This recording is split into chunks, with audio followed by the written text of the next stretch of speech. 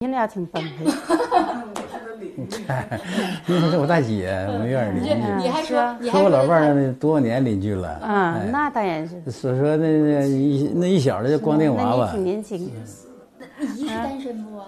单身，啊，你也你真是单身呐？真单身。他老伴儿是我大姐大姐夫走了，真是单但是身。那跟你说，真是和尚到了孤单，大事不妙啊！红娘推开门的时候，就看到两人孤男寡女共处一室。现在看到邻居言语中总是夸赞大爷，整的大妈直接就不乐意了啊！属于看是那种老房子，是不是啊？呀这房能有四十多年了，这黄金厂的给的。黄金厂的宿舍。嗯，哎，宿舍完那个都给我们卖个人家了，我们那是个人了你在黄金。厂上班呗？我呀，啊，我不的那，谁在你姨夫，你姨夫在黄金厂我姨夫在黄金厂。啊，他是黄金厂书记，不然的话我们能呃有这三室房子吗？不仅是他那啥是领导嘛就给他三室房子，那时候我就顶顶上这三室房都乐坏了。我看姨咱挺精致的，我刚我就注意到啥？你看嗯。这都餐桌上摆小花，嗯。还有一个我看这咱这个水管子上面啊我看，这缠的小花都，得缠的小花啥的嗯。我看屋里头，嗯。屋里头也是，你看那个这边厨房，我看这嗯。都是整的什么缠个小苹果啥的。天空一声巨响，咱大妈闪亮登场，真是刘备变草鞋，手艺高啊！大妈说起自个的工作经历，咱还真没想到，人家是在黄金厂工作的啊。不过这看得见摸得着，却不是自个的样子，想想都难受啊。不过一码归一码，就瞅人家的装饰打扮，指定也是个热爱生活的人啊。注意生活，包括今天打扮的，是不是啊多裙子了咱？哎呀，老多了，你瞅瞅这裙子，哎呀妈，这可老多了，啥样式都有。这是啥衣服啊？这胚子，这是大胚子嗯，这这是扭秧歌用的吧？不是，就是平平时穿的，谁扭秧穿它？你配上我看扭看。扭秧是扭秧服，不，你配上我看看。嗯，啊，这这这啥季节穿呢？姨？这个等就过两天就出去脱棉衣服了，一配它不压风，这不兜风吗？大长貂，长的短都有，姨，这平时我一看 这好穿好打扮啥的，嗯呐，可好穿的了。可好穿。哎呀妈，这就是我这个底下这底下都一下，妈能不能抬起来，姨？你看看底下衣服老多了，你再上那个立柜看，都是我的。你这里头还有，卖服装都没我这多呀。这辈子我这脚我老嗯十足了，我这个女人我可真没白当啊。真是飞机上打点滴，水平高啊！咱大妈家的经济水平还真是深不可测啊。家里总共也就三室的地方，但是一介绍起自个的衣柜，那是每间房子里都放了个大柜子，而且不仅每间柜子都塞得满当当，而且就连床下也都是衣服首饰啊！光是锦帽、貂裘各种奢侈品就能看出，大妈一辈子也是尽享福玩乐了啊！这是我们邻居，邻居，邻居啊呃邻居。哎呀，你吓死我了！我寻思这怎么还有一个跟咱同龄的呢？这都这这邻邻居是来帮着把把把把关。把把关，把把关。和我家属以前都是一个院的老邻居、老街坊，始终都处挺好。完了住住在一个院儿、一个小区。啊，所以就处的特别好。是，完了我家属去世以后，呃也挺那啥的，替我感觉挺那不好的。嗯要不然我自己一个人太孤单。过年的时候吧，自己一个人冷冷清清，心情可不得劲儿了。然后有孩子有的时候在工作再忙点儿，再有自己外地，对，再有自己的小家，孩子在哪儿啊？在哈尔滨呢。天空两声巨响，咱大爷闪亮登场，真是做梦跳井，虚惊一场啊！红娘刚一推开房门，没想到却看到了尴尬的一幕：大爷的屋子里居然有着其他的单身女性，要不是人家解释的够快，孤男寡女共处一室还真是吓人啊！而且我跟你说啊，我老伴儿吧，得说啥，属于女强人那伙儿的。她上班在单位一直当领导了的，挺有办事能力的。嗯，我呢，反正是常年吧，天不亮搁家上班走了，到单位开车出去跑跑一天，晚上下班回到家，天已经黑透透的了。对，我刚还想问呢，我说那家里头都是老伴儿张罗，那咱为啥咋的这么忙呢？没有时间呢。现在三月二号走的，他是病了二十来年，肝硬化晚期，叫肝硬化晚期，但那时候不叫肝癌。呃，零七年时候吧，咱四平传染病院通知我，说你领家去吧，想吃啥就买点啥，最多活五个月。说起四哥的感情经历，大爷已是厨房里的案板，尝过爱情的甜，吃过爱情的苦，四哥常年在外奔波劳累，生活中没能顾得到妻子。本以为妻子会心生埋怨，可没想到人家是一心一意干得更起劲了。和公鸡比早起，和月亮比晚睡。可天有不测风云人有旦夕祸福。前期几十年不去医院，可一去医院就再也回不来了。俺家离得可近了，开车就五六分钟。啊啊在哪儿住？我们家在黄金厂，在烟厂路那往里走，嗯，都是老四平人儿，不认识啊？家离这么近，没见过。没见过我，正式介绍一下就认识了，行不行？啊好这位是张良生，张叔。这位是安静，安姨，欢迎欢迎还欢迎是叔那个懂礼貌，欢迎欢迎来主动握手。嗯，就没见过这个吧？别误会，这个是邻居。我知道，知道，知道。嗯，这个别误会，这是邻居，嗯然后过来帮着参谋参谋，嗯把把关或者咋的。呃印象我瞅着还可以，嗯，演员还行，安静啊。对呀安静，咱们离不远儿，没见着过。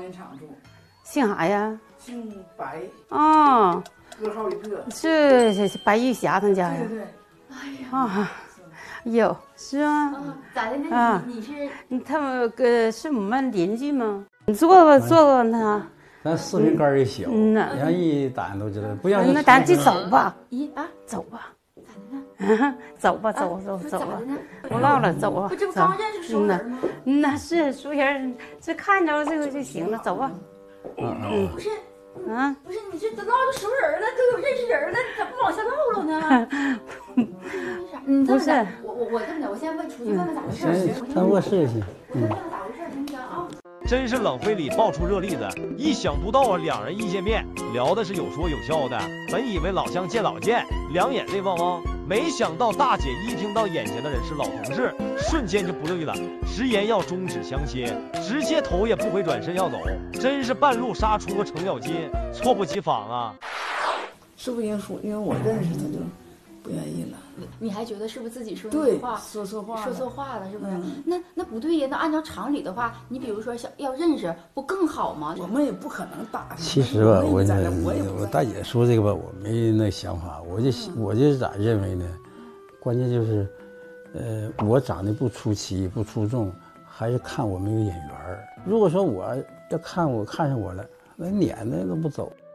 红娘也是扁担挑水，心挂了两头，连忙安稳住大妈的情绪，先把大爷和邻居安顿好。邻居是手足无措，认为是自己的问题。都说当局者迷，旁观者清，但大爷却是蜈蚣吃萤火虫，心里有数，直言大妈无非是条件没看上，眼缘没相中，所以才会有这么大的反应。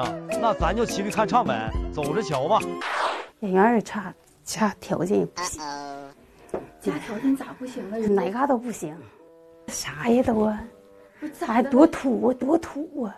人家咋土了呀？人家这好好板正的一室一厅，那人家还是比你的小区，人家还那啥，咱那还是老小区呢。以前我们家那灯都得挂的可好看的了，完咔咔都用这撇了。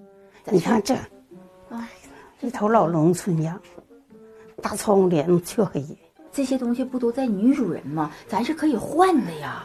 嗯，换的不行，人儿不行，这人儿一句话这人儿不行，一句话这人儿不行，个儿多小啊，长得一点气质都没有。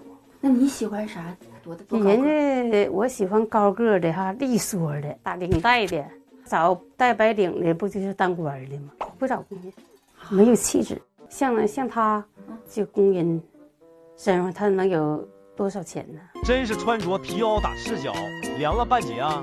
还真是给咱大爷猜对了。都说相亲眼缘占一半，大妈你是打心底的觉得没相中，本来就对大爷没有好感，再一参观了大爷家的家居摆设，心里头是更加不耐烦了啊！直言大哥要条件没条件，要相貌没相貌，档次太低，实在是配不上四个的身份，还真是一点面子不给人家留啊！现在劳保工资也不高，一个月两千七百块钱，不到三千。啊，还不到三千呢。但我没有，我没有机会，我维持这样就不算劲儿了。这他多少年病二十来年，那退休金方面，咱希望是找多高的呢？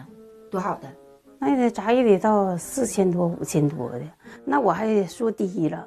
当时咱老伴儿退休金能开多少啊？那现在活都开一万了，像我这样消费的那水平，他能达到我吗？这不就这么一个小娃儿，他都整不起呀，他能整起这个金？戒指花多少钱呢？哎嗯，呀哎呀，这还有金表！哎呀，这家这姨还有金表呢。那这嗯这个戒指多少？这个戒指多少钱？这个好像谁道花多少钱？这个不咋太多吧？这个，啊，这嗯，个这个花的多啊，，这个多少钱？这个花一万多了。啊，这个戒指一万多嗯，，这钻石的，那这个这个金表呢？嗯，这金表呢？这花好几万了啊，这一块表啊？啊！啥表啊？金表呗，全是金的。这这是小了溜的，在家做饭去。哎 哎呀，嗯，那这刚才在家都没给我展示啊，这是啊。我还真没给你展示。咱看这么亲事也是，药店着火没救了啊！大妈先前就感觉大爷工资收入低，红娘再三劝慰好，不容易让人家坐了下来。可没想到如今一听说大大的腰包实力，是一点都忍不住了啊！直言对方达不到自个的消费水准，随即就亮出了沉甸甸的金表和钻戒，还真是泥鳅钻洞，深藏不露啊！对不，咱俩不是一个档次。啊，嗯，对，嗯呐，对，就不是一个不层次哎，不一个城市。嗯，人家不愿意，咱就拉倒。如果真俩人到一起以后，他老拿咱们身份和他以前的书当书记的丈夫对照比较，咱们和他在一起的话，就属于我高攀他了，他有点高不可攀那个意思。你俩挺般配。因为是我大姐，我们院儿邻居，你还说你还说和我老伴儿多少年邻居了。啊，哎那当然是。所以说那那一那一小的就光腚娃娃那你挺，年轻。那你是单身不啊？单身，啊，你你真是单身呐？真单身。他老伴儿是我大姐大姐夫走了，真是单身。但是那跟你处，要我还跟我大姐说呢，我你要想处的话，跟那个孙倩说一声，在在晋惠楼台先得月对，还叫孙宪俩给报个名我进屋我。就说你俩合适。这这一块是给他俩做的。有缘千里来相会，无缘对面不相逢。大爷看到大妈是城墙里捅竹竿，直来直去，言语中处处透露出自个的档次，也是心中有所不悦了。直言人家看不起自个，咱还不想往人家身上凑呢。事已至此，那这门亲事也是华佗摇头没救了。可没想到大妈却是不依不挠，直接把矛头指向了坐在一旁的邻居。你你是就是处的都认识多少年了？反正挺多年了。挺多年了。那你听没听刚才姨这个这个想法？我都没敢往那方面想啊。是听他说了他说我俩挺般配，他说我俩挺般配。我要是跟他俩处对象，我也没啥意见啊。跟他一般多，我两千七啊，我不想他挣的少。人要好的话，那你要是会过两千多人也够用。那我俩五千多钱不够花吗？嗯你你像我这岁数大了，也不想买啥穿的，买啥戴的了，我这都有。但是咱也不能显示这些，我这人就实惠嘛那，那在那个今天之前，你从来没想过，从来没想过。那要想还用介绍，那不就到一块儿了吗？自己都没敢想啊，没没想过。那是百里挑一，我大姐，嗯呃，这人性格是特好，特温柔，哎，跟我大姐夫这一辈子没红过脸，没吵过架，没拌过嘴呀、哎，那是条没有啊。嗯，这都多年家伙老邻居，知根知底的，就是太熟了以后啊，没法下手。呃，那那那那都多年了，那赶上隔人亲大姨子了，亲大姐了。真是耗子追猫，意想不到啊！本以为大妈的无心之举翻不起什么大风大浪，可没想到红娘把邻居叫去一问，人家还真是对大爷暗生情愫啊！两人本就是青梅竹马，光着脚丫长大的玩伴，现在各自的老伴又驾鹤西去，打心里还真是对大爷有意思啊！呃，那姐俩就多个脑子差个性，像一个人似的。嗯、你咋咋能往这方面想啊？你想想，一辈子的，呃，情谊啊，呃，就朋友这个感情，如果说处能将来走到一起，两全其美是好上加好。万一呢，就是说有个挫折的话，把朋友这个感情都给淡薄了，是吧？呃，是不是那意思啊？嗯呐，这个你说，嗯你要不咋说熟，还是你这考虑的周到。你说嗯我光顾着兴奋了，光寻思，光想着把你俩撮合了。是我看你你说这个，你说特这个在理儿，我看你特开心 的那是，你在那屋里跑出来可高兴了，满面的笑容。我刚才表扬他了，乱点鸳鸯谱，人家也是好心，人家也是好心。人家人家我大姐来给我把关来看他了就说那行，那咱就送送送送姨吧，好不好？好好送送。哎，就是认完，大姐完你去啊。哎，完，大哥，咱就是这样了，是不是？那行，我就那就回去了。走了啊。好好好那走了，那那我们走了。生活在一起之后，肯定是结婚带娃儿，也还要做家务。如果还喊我唱承担一部分月供的话，我觉得我无能为力。我觉得男娃那个要求啊，嗯，有点搞笑。真是唱戏的腿抽筋，属实下不来台啊！抠门哥相亲不仅不想请客吃饭，而且喝个水都不舍得请亲友团，现在又表示要 AA 制，以后共同承受生活费用。那么到底是大哥太抠门，还是大姐太贪婪？咱们拭目以待吧。现在在巴南区居住，打算自己买房子住。当两个人如果说一起共同奋斗的话，啊、买一点大点的房子也可以考虑这个方面的。性格比较开朗，嗯、比较乐于助人，爱好爬山、看电影、音乐这一块儿。喜欢做好事情，同事没有车回去的话，我可以主动送他回去。呃，比如说同事有什么事情，嗯，需要帮助，在我的能力范围内，我会用心的帮助他。我不抽烟，不打牌，偶尔喝一点酒，餐厅啊这些，但是高消费的地方基本上不去，拒绝。公司组织活动这些，自己也主持过节目。天空一声巨响，咱大哥闪亮登场，真是小马拴在大树上，牢靠的很啊！说起自个的生活习惯，人家是烟不碰，麻将不打，酒吧那种乌烟瘴气、高消费的地方，自个是去都不去。就从这一点，咱就能看出来，以后过日子肯定也是个好手啊！女嘉宾其实也到我们这个今天约定的附近了，收拾好心态啊，准备一会儿怎么跟我们女嘉宾见面，有没有想法？嗯，之前有准备，呃，现在嘛，有一点小紧张而已。你这是准备的是什么？我想听一下。嗯、小秘密。那我们就期待男嘉宾一会儿给女嘉宾准备的这个小秘密是什么？你刚刚说你还给女嘉宾准备了礼物啊？没有，没有。不是姐姐她问了我，我一下都懵了。结果是随口一说，是吧呃？因为比较仓促，个人 是哎，比较仓促。等会儿就准备嘛，花点儿。真说都说了。他们那个你马上就要见面了，所以说你要看一下，是准备的个人都说。冷饮嘛，冷饮，这只有这里炒出来就准备冷饮，哎。因为他说的跟那个嗯那个女嘉宾准备了一个小秘密嘛。你读那个不对头噻。真是唱戏的腿抽筋，属实下不来台啊！咱大哥刚登台亮相的时候，可还是拍着胸脯保证自个有小惊喜。没想到等红娘把事情给女嘉宾说后，大哥却直呼自个是随意的玩笑话。大丈夫吐的唾沫都能成金子，咱可不能这样似的啊！呃，我想买一杯冷饮，有那种解渴或者是蓝莓味儿的那种有没有？没有蓝莓味的。那就解渴的那种，有哈密瓜嘛，可以吗？一杯一杯，呃，四杯吧，四杯吧，四杯，呃，四杯吧，四杯。消费五十六，还是三零呃，多少？十六。啊，等一下，等一下，我打个电话问一下。嗯。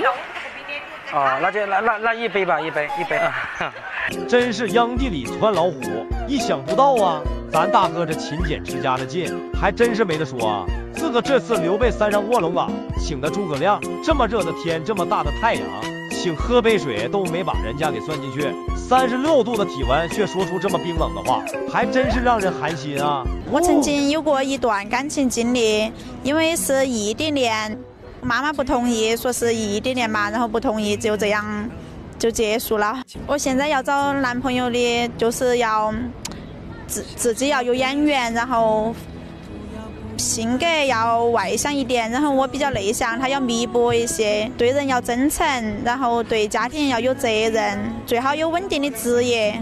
女嘉宾摘下口罩，这种灿烂的一笑什么感觉？看到之后，嗯，春风扑面是吧？对对对，看起来就像贤妻良母型的那种，我很喜欢。既然摘下口罩，就是愿意尝一口嘛，是不是？怎么样？好哈。在这里，我还是想提醒男嘉宾哦，呃，这只是第一步，后面每一步都非常关键和重要。那接下来要干什么？自己有没有想法？和女嘉宾语言交流沟通一下吧。那现在呢，两个人我们就找个地方坐下来，好好的了解了解，好吧？天空两声巨响，咱大姐闪亮登场，真是端午节吃粽子，皆大欢喜啊！当大姐把口罩褪去的那一刻，大哥的世界仿佛都只剩下了大姐一人，直呼自个对人家一见钟情，满足自个对另一半的所有幻想。爱情靠争取，为爱不放弃，就看人家如何做出争取了啊！哎，于涵姐，我我想问一下，就是我们一般哈，如果安排见面的话，就是安排在中午，然后这个男嘉宾的话，他刚好安排在一点钟，他刚好避开那个饭点儿，我觉得他是不是刻意的避开饭点呢？之前呢，他跟我们联系，我们确定时间的时候，呃，他就说啊、午饭之后再见面，就跟我们约的就是一点钟。那你觉得他那个人是不是有点儿那种比较小气、比较菜？嗯，你很介意这个问题是吗？不是的，我是觉得他如果他，因为他刚刚刚刚见面嘛，然后我都就是担心以后他会不会很小气啊那种。哦，不能怪你这么想哈，确实我们也没了解清楚为什么会要约在这个饭点之后啊，跟我们平常的这个习惯哈，这个方式是不一样的。呃，你说到这里呢，我刚刚还在想，包括他其实呃给你买饮料这个事情，包括他的姐姐也说啊买鲜花或者买饮料，然后男嘉宾就最后说因为天气嘛哈。这个很热，就是给你买点解渴的。我就在想，他会不会是一个很呃实际的男生，就是呃呃，就是说把自己的日子安排的很恰当的那种男男生。不过我觉得，如果说你真的介意他这个问题，你完全可以一会儿把这个问题提出来问问他。真是冷灰里爆出热例子，意想不到啊！都说当局者迷，旁观者清，咱大姐的小心思却是清晰的很啊。通常节目都是安排在饭店相亲的，一是饭桌历来都是好谈话，二来还能聊表心意，促进关系。没想到大哥倒好，直接就把时间安排在刚吃过午饭的时候，整的大姐一下子就不乐意了，打心底的担心人家是抠搜男啊。哎，男嘉宾，你中午吃了饭没有？吃了点的。你吃了的吗？哎，我十二点钟弄来的。哦。因为我我从那个我们上面在修路，然后那边要绕一节路走，然后我坐公交车坐得很早，然后我没走吃中午饭。那要不差点吃点东西吧都？嗯，随便嘛。哎，吃点东西嘛，我可以吃点东西。你是哪点过来哇？从？南山上的嘛。南山了。哎。哦。我其实是考验他，嗯，看他会怎么回应我，然后会怎么招待，嗯，就是看他那个人小不小气。你看男嘉宾喜欢吃哪种？随便嘛。点一个你们招牌菜嘛。哎，我我比较喜欢，比如说那那里面一个店里面有好吃的，我喜欢点那种好吃的。两个嘛，两个，就吃一样的嘛。哎，两个。在外面嘛就吃个套饭，在家里嘛一般就一菜一汤左右就可以了。他就点了一个菜单上他说的招牌菜，然后其实是几个菜品当中最便宜的一个。我觉得男嘉宾平时还是挺节约的一个人。真是土地庙里填窟窿，不妙啊！大姐这次相亲可是故意留着肚子来的，却没想到人家却把时间安排在了吃饭过后。本着有便宜不占王八蛋的理念，大姐还是言语中表示，大哥听闻只能掏出钱包请客吃饭。虽然说饭是吃饱了，但是大姐却嫌点的太便宜不舒服了啊！现在这个点儿，看看手表，几点了？三点二十。三点二十。三点二十吃午餐。唉，因为是女嘉宾没有吃午餐是吗？啊，对她可能因为我刚开始没有问她的原因嘛，不然的话。确实，你这个约的点儿也很奇怪哈，一点钟，让人觉得不早不晚的，所以一见面，哎，就没有给男嘉宾那个好气儿是吧？饿了还等了那么久，关键是。这是我的疏忽。为什么选择在一点钟见面？你没有想过就大家一起顺顺道把饭吃了吗？嗯，这一点确实自己疏忽了。我首先要向女嘉宾道歉，希望你原谅。没有、嗯，这个本来是我应该考虑周到的问题，但是我疏忽了。其实我觉得这样的话题敞开说也没有关系，我们不需要隐晦，因为这一件事情啊，就让我们觉得啊，是不是呃太吝啬了，太小气了啊？在这种一顿饭可能也就呃二三十块钱的事情上啊，这个样子。所以我想知道你平时的一个消费观念是什么？看到大姐对大哥的印象是一跌再跌，红娘也是扁担挑水，心挂了两头，也是直接直言做出表示。询问大哥把时间安排在饭店后，究竟是故意不想请客吃饭，还是说纯属意外无心之举，就是不承认自个抠门。让我自己大手大脚的，比如说去消费呀、嗯或者是去买什么东西啊，嗯，我平时几乎没有，没有大的消费。啊，几乎没有。我觉得我这个人的话，平时贵的也能穿，然后便宜的也能穿，但是我就想晓得男嘉宾对他以后的女朋友大不大方。哦 问到关键了。因为在我的生活观和家庭观，以及对未来的一种期望，嗯就是一切为了家庭着想。嗯，为了家庭着想，就是在开支方面也好，还是为了自己的另一半嗯花费也好，其实都是一样的。其就是该用的就用，不该用就不要用。那什么是该用，什么是不该用？嗯具体，对我，比如说呃女孩子买多少钱的衣呃服，你觉得比如说不打太极，不打太极呃的。，我不喜欢一个人，或者是我觉得我反感一个人，你哪怕叫我花一块钱，我都觉得有点舍不得。感觉男嘉宾呢，平时生活用度当中啊，算是比较节约的，嗯，对自己也比较节约。我就是担心以后他那种会比较有点抠门儿那种。咱看这么亲实也是断了线的风筝，没指望了啊！看到主持人当面询问自个，没想到大哥却依旧是打起了太极，直言自个平时是勤俭之家，但是一说到对另一半的条件上，却踢起了足球啊！真是当人家啥好糊弄啊！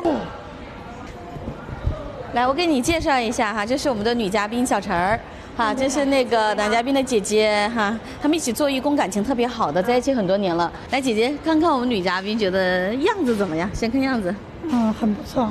很不错。啊，对他。跟你弟弟配配呢？嗯，我感觉很挺配的。男嘉宾这边就是主动力还不是特别够，还需要你在中间那个撮合撮合。他不像外头那些两个喜欢油嘴滑舌，他从来不，他是有一说一，有二说二的。所以说，但是有时候可能是不会说啥子甜言蜜语哈，嗯，但是啊，他对人很真诚。对于我们女人来说哈，找一个，我不是说图他好有钱好那个，找一个来都是说对自己好一点就行了。嗯，反正你两个还年轻，啥子东西可以自己去奋斗，对不对嘛？如果他有再再好再那个，都说他钱再多再富有，对你不好，我觉得也没意思的。十年磨一剑，双刃未曾试。如今被大哥遗忘的亲友团，终于是抛头露面一展雄姿了。人家一上来也是胡同里赶猪，直来直去，直言大哥为人坦诚，不会勾心斗角。说起两人以后的生活规划，表面上是说夫妻同心，其利断金，可实际却是大周卷小周。话里有话，就是劝大姐不要好高骛远，坐享其成。对那个未来的那个另一半的要求是有哪些啊？其实就是有个稳定的职业嘛，然后最好在以后规划在重庆，不是说全款就首付一套房子，我觉得也是可以。主城吗？我觉得我们男生上挺好的。现在你说的是在南山高头也可以，像南山那个镇的话哈，你觉得那上面的房价是好多啊？嗯，我们男人上的房价均价在一万六左右嘛。我觉得我们男人上啊，空气很好，比主城区相对来说空气好一些。对于你说那个房价那上面的一万六的话，可能还达不到那么高哦，因为它是属于巴南和那个南岸区边边上去了一个小一个小镇。不是，它上面主要是没有修高层，如果是高层的话，价格肯定要低点儿。它上面全是那种洋房之类的，没没得高层，嗯。基本上都不高个嘛，是吧？嗯，因为南岸上不准修高层嘛，我们南边上全是七层，七层以下的。我觉得南山上的房子也还算是比较便宜的，一万六也很正常呀。真是穿着皮袄打赤脚，凉了半截啊！一说起以后的住房问题，大姐也是表示自个早早的就相中一套大别墅，就等着找个有钱的对象，掏个首付拎包入住了。但是大哥一听确实坐不住了，凭借自个一亩三分地的实力，可真是泥鳅跳龙门，痴心妄想啊！大概你一个月工资有好多呀？五六千左右吧。哦，哎，因为现在我还在接触业务那一块儿，也只要接触业务那一块儿了，都有提成噻。按揭，然后在那个付的话，你肯定还是有点困难，因为我的工资也不高，嗯 我是那个幼师，工资也不高。嗯，因为对于按揭房子那块儿，共同的吧，应该是。对于一个男人来说，如果光靠一个男一个男人来撑起一片天的话，非常非常的累。生活在一起之后，肯定是结婚带娃儿，你还要做家务。如果还喊我承承担一部分月供的话，我觉得我无能为力。我觉得男娃那个要求啊，嗯，有点儿搞笑，因为我现在疫情期间班儿没上，然后以后的话就算上恢复上班了，每个月大概剩下的钱也没得多少了，你只剩几百块钱，你开销到哪里去了？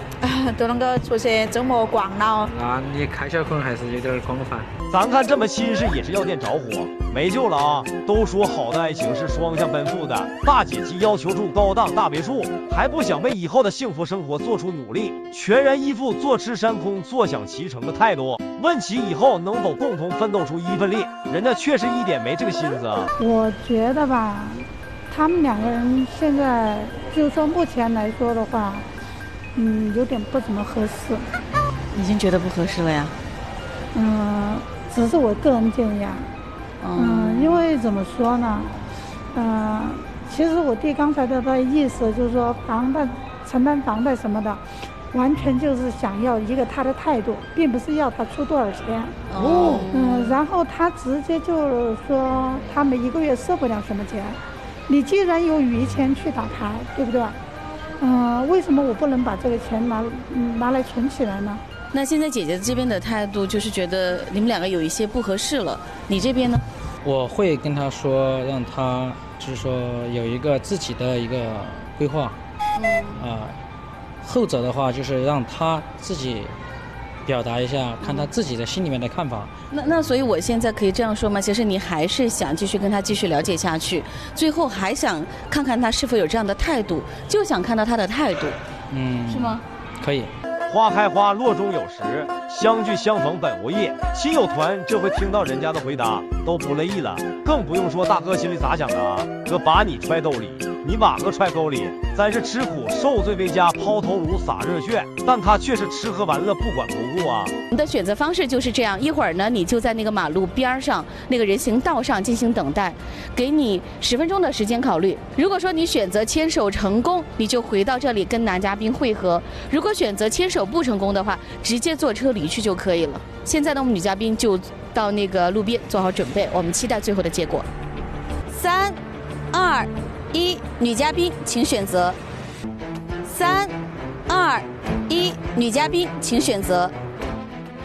离开的时候，有些话没进口。那确实非常的遗憾哈，看着女嘉宾直接离去呢，就表示她今天选择是牵手不成功哈。这嘴得啥味儿啊？饺子味儿，这光是饺子味儿啊！韭菜味儿，更有幸福滋味儿。真是唱戏的淌眼泪，可歌可泣啊！都说上车吃面，下车吃饺。大姐这是把大哥当成自家人了啊！自个不远万里赶来相亲，一上来就吃到意中人亲手包的的饺子，这心里别提有多激动了啊！王保忠，王大哥，你好，你好，我是红娘小五，这是顾客呀，还是朋友？啊，也也是那个什么，总来的啊啊！他们没没问题，没事儿，没事没事没事，那我先进去哈。大哥，这饲料店是你开的呀？对，是我开的。咱是刚对不长时间吗？我看网上有这个网红零食、精品鲜果。这个不是，我去年吧是在那个道那旁，我那商店吧见人给占了，临时搬这屋的，小了就是那临时吧，他这个吧是临时的，临时的就这玩意儿搬过来。是房子家包租，好住还得换大的，对，割不开的。咱这个饲料店开多长时间了？二十多年左右。天空一声巨响，咱大哥闪亮登场，真是飞机上打点滴，水平高啊！咱可真没想到，大哥还是个实打实的大老板啊！一见面就是西装革履大皮鞋，生意能做二十多年之久，那指定也是赚了不少啊！呀，养牛总上面那儿取饲料。这大哥是干啥的？我也是养牛专业户啊，也是养牛，没进货的啊。你们跟他合作多长时间了？合作好几年了，好几年了，有有个五七六年。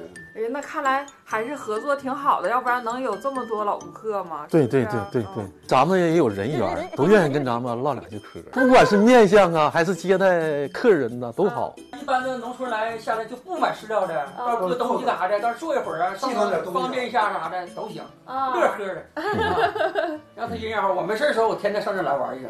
那你这一年销售额就是能有多少吨？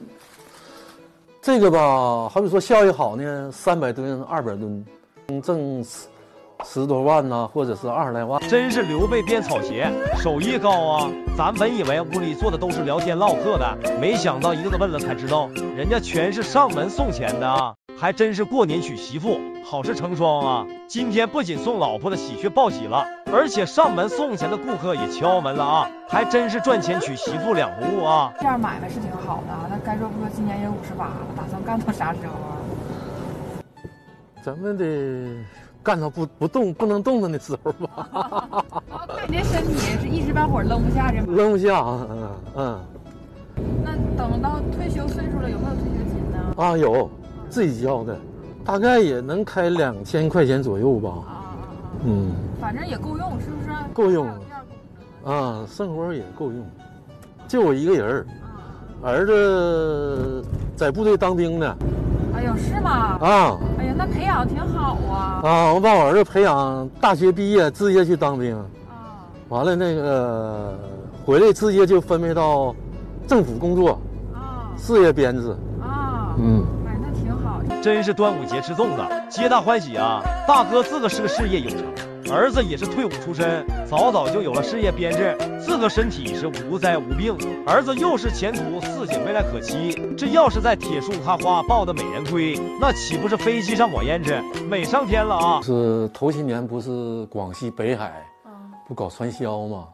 这个媳妇儿啊，就被这个他的亲戚就带去广西北海搞传销去了。就自己就走。就自己就走了。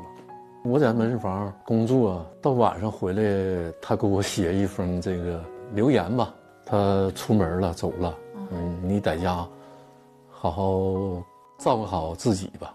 他自己就拿家里钱就是去去了呗，那拿了多少钱呢？得有个几十万吧。孩子他也给带走了，当时哎呀妈，那胆儿也太大了，嗯多危险呐！是，当时是我挺伤感的。家里就三口人吧，就剩我自己了，一夜之间，挺痛苦的。真是刘姥姥进大观园，大开眼界啊！大哥的前妻还真是会玩啊！明知山有虎，偏向虎山行。不仅一夜之间就让大哥成了个老光棍，还把大哥苦拼多年的积蓄给带走了，一下子就成了要钱没钱、要老婆没老婆的可怜人啊！好在人家有个强大的心脏，不然估计这会都见不到人家的人了啊！这么漂亮啊你啊！谢谢谢谢花啊，你也太年轻了，年轻吗？你有五十二吗？有啊。这这个脚馆是我姐开的，完了就算帮忙嘛，也算是。啊，自己家买卖的。对，是是十多年了。这这是我大姐。哎，你好，你嗯，好，这我大姐。你好。那那个是二姐。啊，嗯。哎呀，那你们这个属于是你好，你好。哦，都多少年了？你们这个属于就是姊妹店了呗，是不是？对 也就你们仨就整十多年呢。对呀。哎呀，那挺厉害呀。在这十多年了，别地儿还还还有，就是干了，反正这个来来回都有二二三十年吧，也就这样。我看他家是个饺子馆，饺子馆，饺子主打呀。对对，饺子主打。嗯那你上不上手包啥的呀？我差，我不行，啊 最主要还是他们俩。嗯哎，那在这儿的话，就是姐姐是你们是怎么分红啊？还是姐姐正好给你开工资？姐姐反正要挣得多，多给我点儿，反正一年保证有三万块钱吧。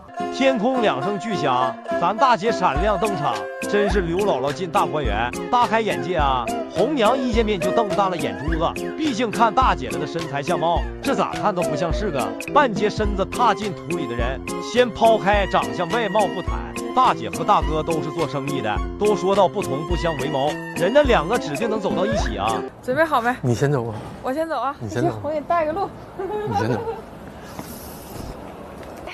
你好。啊，你好，握个手吧。啊，你你好，你好，你好。啊，你好。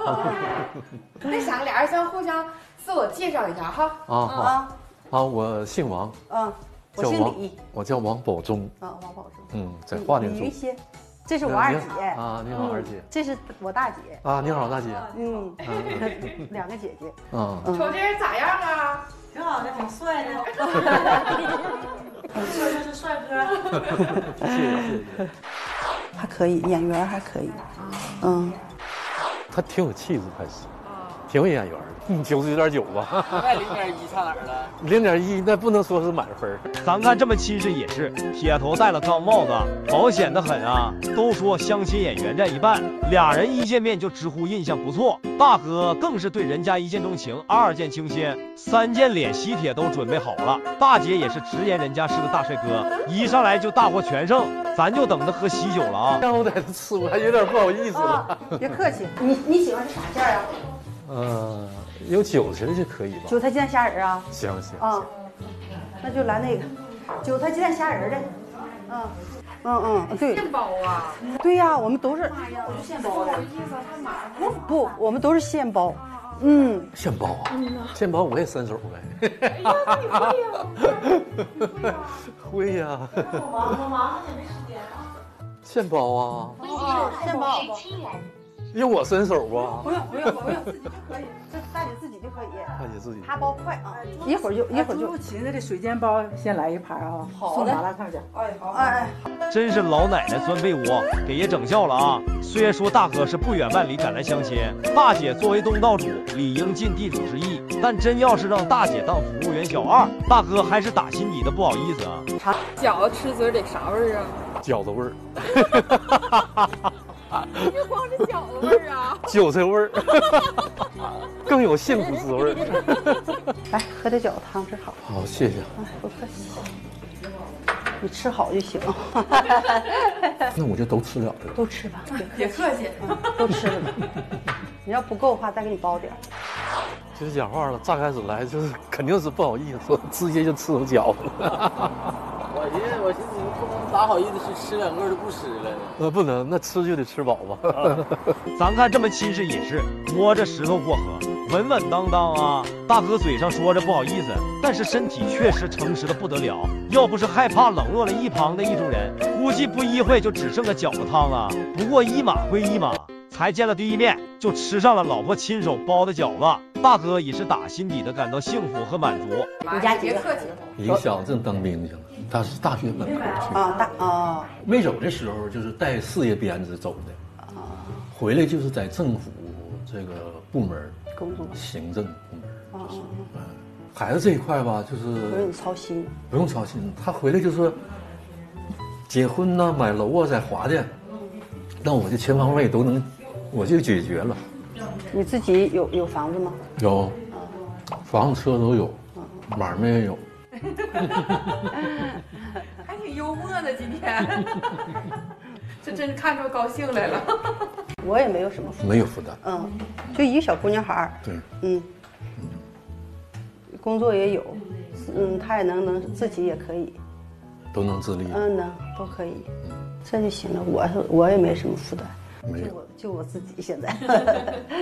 挺好，挺好，嗯，那都挺好，啊，都挺好。因为啥？这个孩子吧，都已经走向社会了，而且都有自己的工作，所以说就是我们这个当老的吧，也是在这个孩子身上吧，就省心了。真是小马拴在大树上，牢靠的不得了啊！说起自身的家庭条件，大哥的经济实力是稳操胜券。自个不仅有房有车，而且光是存款都有好几百的。以后儿子结婚买车买房也是洒洒水的事。大哥是没有任何家庭负担，大姐也是一身轻松。咱看，只要不是叶老亲自站出来反对，那肯定能成功牵手啊！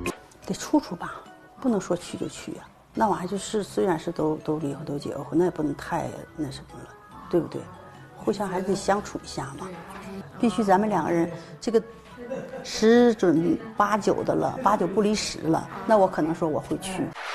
那就是这样的人都是比较守本分的，嗯，就是在外面没有没有什么影响，坏的影响。困难过去了，呃，现在呢就想成个家，找个家了。像他们这女方觉得得考验考验咱们男人，这个什么性格，都什么呃，什么状态啊，什么脾气，那只有是用时间去见证的。我说的是不是在理？嗯、像咱们俩现在就是认识嘛，第一个呢，一会儿加个微信，加个信息哈，先聊一阶段哈。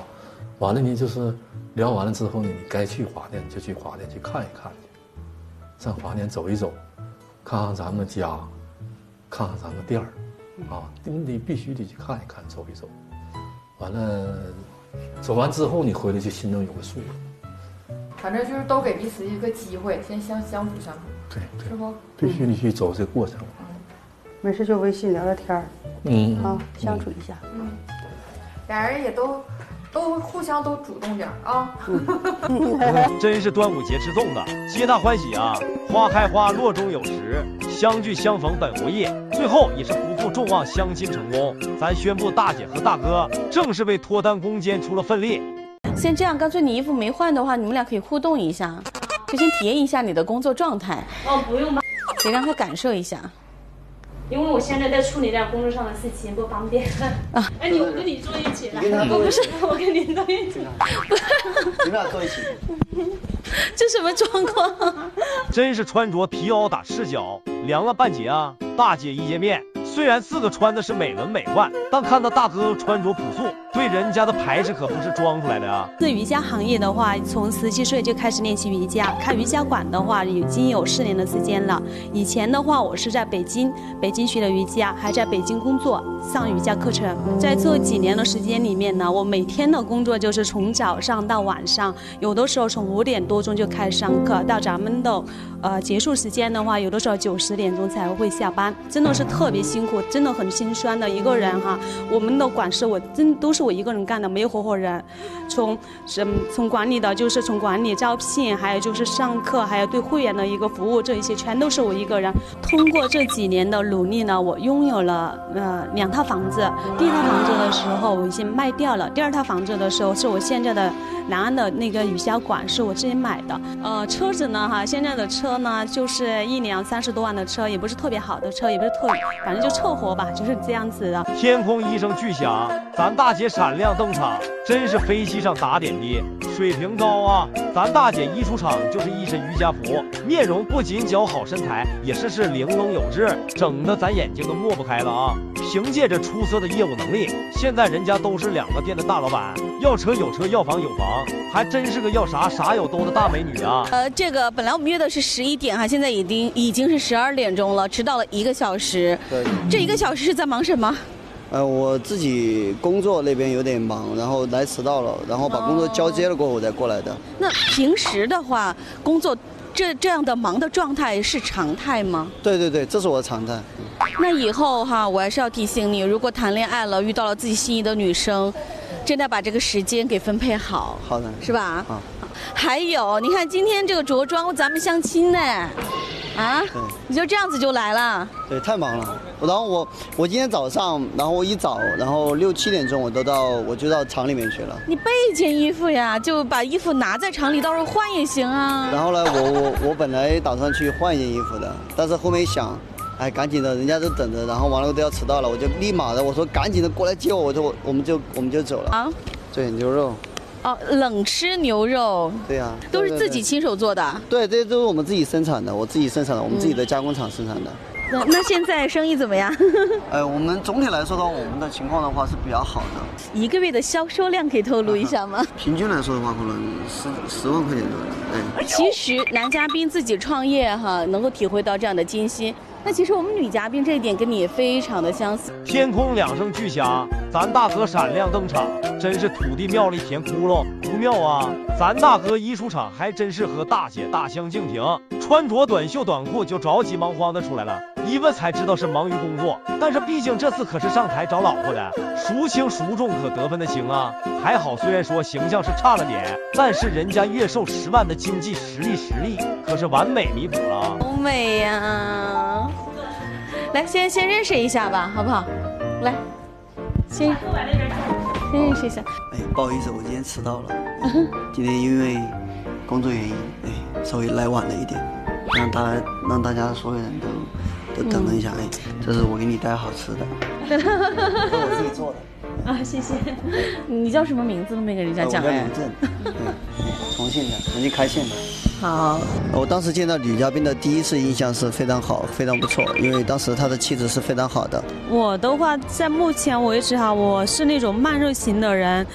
见每一个男士的话，我都不可能是一下子对他很动心的，可能就是还是有行动呀，相处下来比较 OK 的话，我才会对他有那种感觉。爱情经不起等待，大声表白就要现在！看到身着瑜伽服的大姐后，不仅咱的眼睛是再一次的挪不开了，浑圆的双腿，一览无余的身材，就连大哥也是看得直流口水，直言对人家一见钟情，二见倾心，三件连喜帖都准备好了啊！虽然说自个是打心底的相中了，但大姐却是貌似没有一点感觉，就看大哥如何做出努力了啊！那咱们就骑驴看唱本，走着瞧吧。先这样，干脆你衣服没换的话，你们俩可以互动一下，就先体验一下你的工作状态。哦，不用吧。可可以可以体验一下，因为男嘉宾也是一个质检的人，他很喜欢这样子的生活，得让他感受一下。因为我现在在处理点工作上的事情，不方便。啊其实我哈，我除了我们家会员的话，我是有这种身体接触的，但是通过这样的关系的话，我不想去和他有什么样的身体接触的，是这个意思。哎，你我跟你坐一起来你跟他，坐我不是我跟你坐一起。你们俩坐一起。这什么状况？我也说不出那种感觉，反正那个时候哈，我就感觉那个主持人特别亲切，我就想跟他一起做，就不想跟男嘉宾一起。真是冷会里爆出热例子，意想不到啊！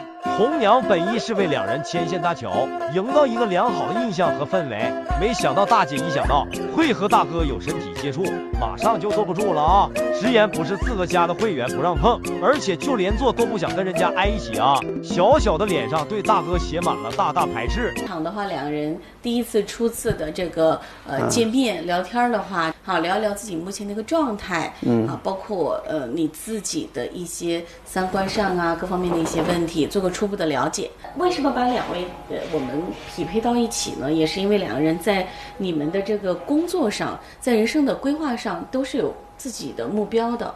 啊，而且为了自己的事业，也是在不断的努力拼搏啊，往上走的啊。像男嘉宾他自己现在呢，也是创业三年哈，呃，我觉得两个人可以先从你们的工作哈，嗯包括生活态度，我觉得这个也非常重要，看有没有共同的话题可以聊一下。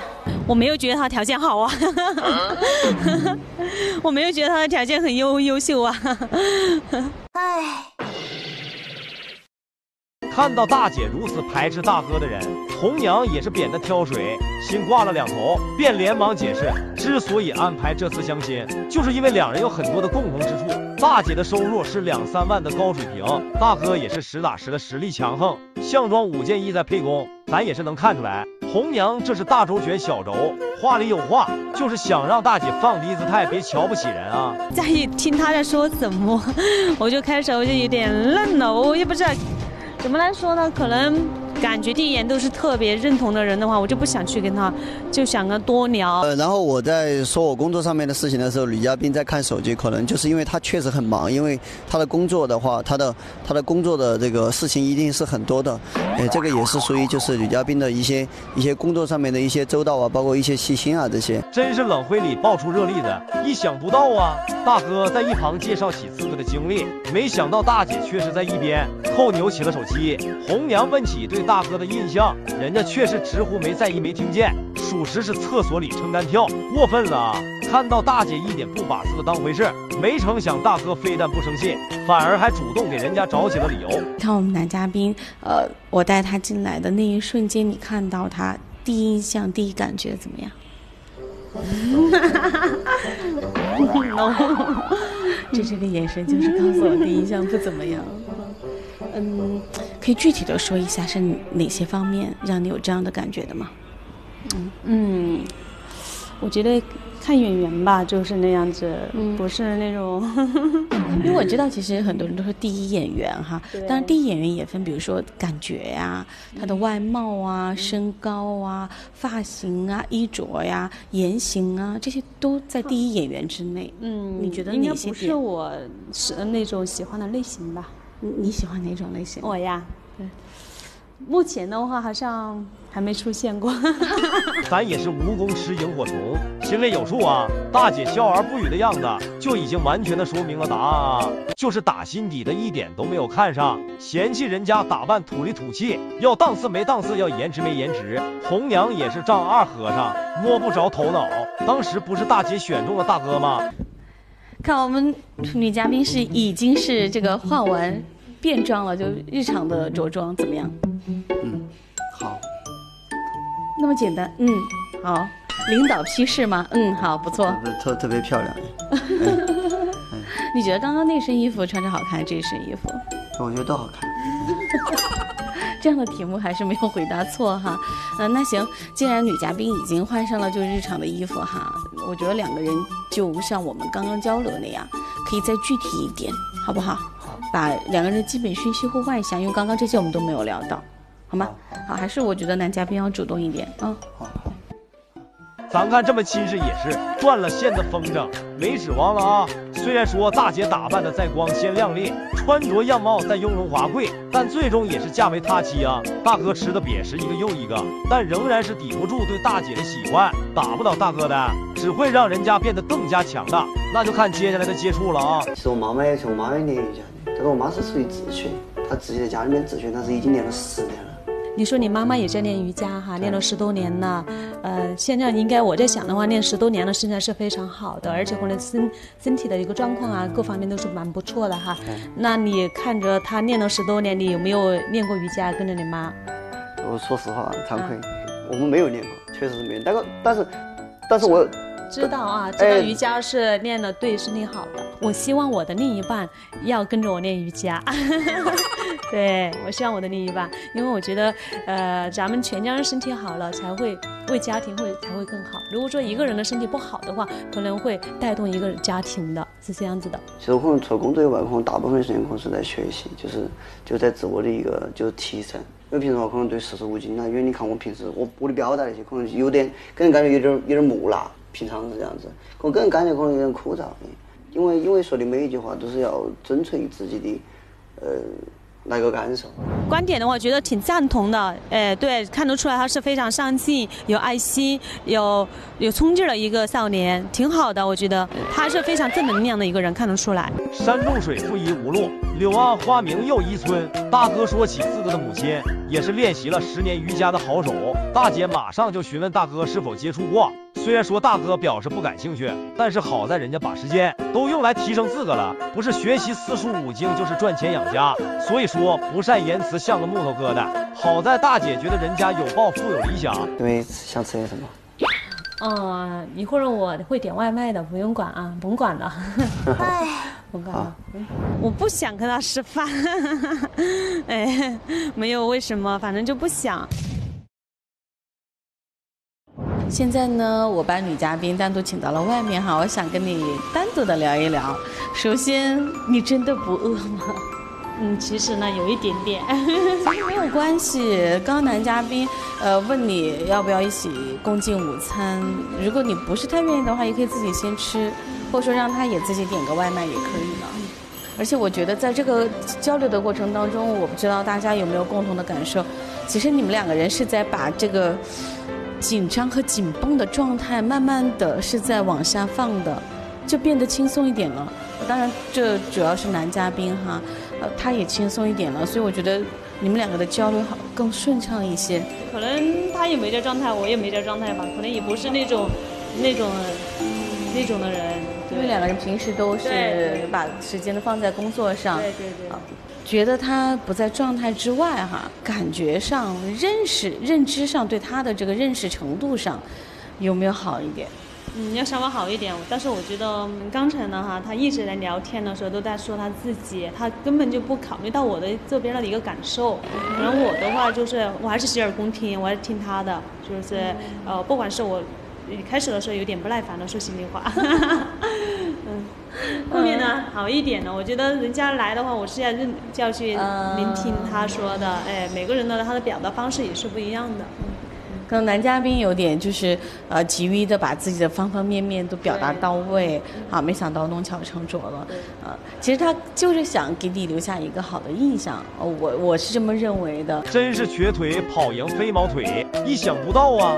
看着时间已经过半了，大哥便想主动表现一番，誓言要请客吃饭。没想到大姐还真是有便宜都不占，直言不需要四个点外卖。虽然说红娘是很努力的在圆场子，但估计最后也是不会如偿所愿啊。觉得会员的话更好一些，我觉得。就是我们就说练瑜伽，为什么你会拒绝？啊，因为是这样子的，因为我一会儿现在要处理工作上的事情，一会儿还有事情，所以说就今天就暂时不那个了啊。是，你看你。呃也是想跟他拉近距离，所以呢，一再的就是想请女嘉宾跟你有一个互动，教你一些瑜伽的新的动作。好，但是女嘉宾这一块儿，她就是一直没有愿意。我们怎么样劝说你，怎么样要求，她都没有答应。你觉得她是出于什么样的一种想法呢？嗯，不知道。不知道。那你有想要去了解过她真实的原因吗？嗯，我没有想过，我也不知道。哎，他说不想就不想。对。那其实今天呢，你看，呃，两个人哈也聊了那么久了，哈，在一起呢也相处了那么长的时间，嗯，我想知道你现在对于女嘉宾的一个想法。首先，女嘉宾落落大方，然后的话，女嘉宾各方面的条件也很也非常出色，也非常优秀，包括她对瑜伽的这个这个一直以来的这个这个做这个事情，我也看得出来，其实她通过这段时间一直以来的话，包括她的门店啊，已经有一家两家，那证明他们对这个行业的话，她很专业的。嗯好，再加上这个女嘉宾啊，就是她一个人去面对这么多事情，那肯定她的心态是特别好的，是特别不错的。哎，所以说从各方面来说的话，女嘉宾其实都是一个很优秀。很优秀的女孩子，很优秀，很优秀。对对，花开花落终有时，相聚相逢本无意。都说失败是成功的妈妈，但是大哥这个失败就是怎么都怀不上，就像个百战百败的黑马。无论自个在前面怎么做出争取，可换来的都是无情的拒绝。嗯，咱们俩已经相处了半天了，而且而且就是咱们相处的过程当中，我觉得您啊，就特别细心。然后的话，对对我们所有人的照顾都非常的这个周到，而且很周全。就考虑很周全，就包括您呢，就是各方面的这个条件也特别好。但是呢，我就，但是我们相处过程当中，嗯，到现在为止啊，就是我觉得，就是我我有点不适合你，哎，哎，就包括我的表达呀，包括我的说话呀，哎，包括我所阐述的这些价值观啊，这些观念，哎，我就就就直觉告诉我，就我对这个人比较相信直觉，就告诉我，就是我有点不适合你。那其实我相信他确实是深思熟虑了，是吧？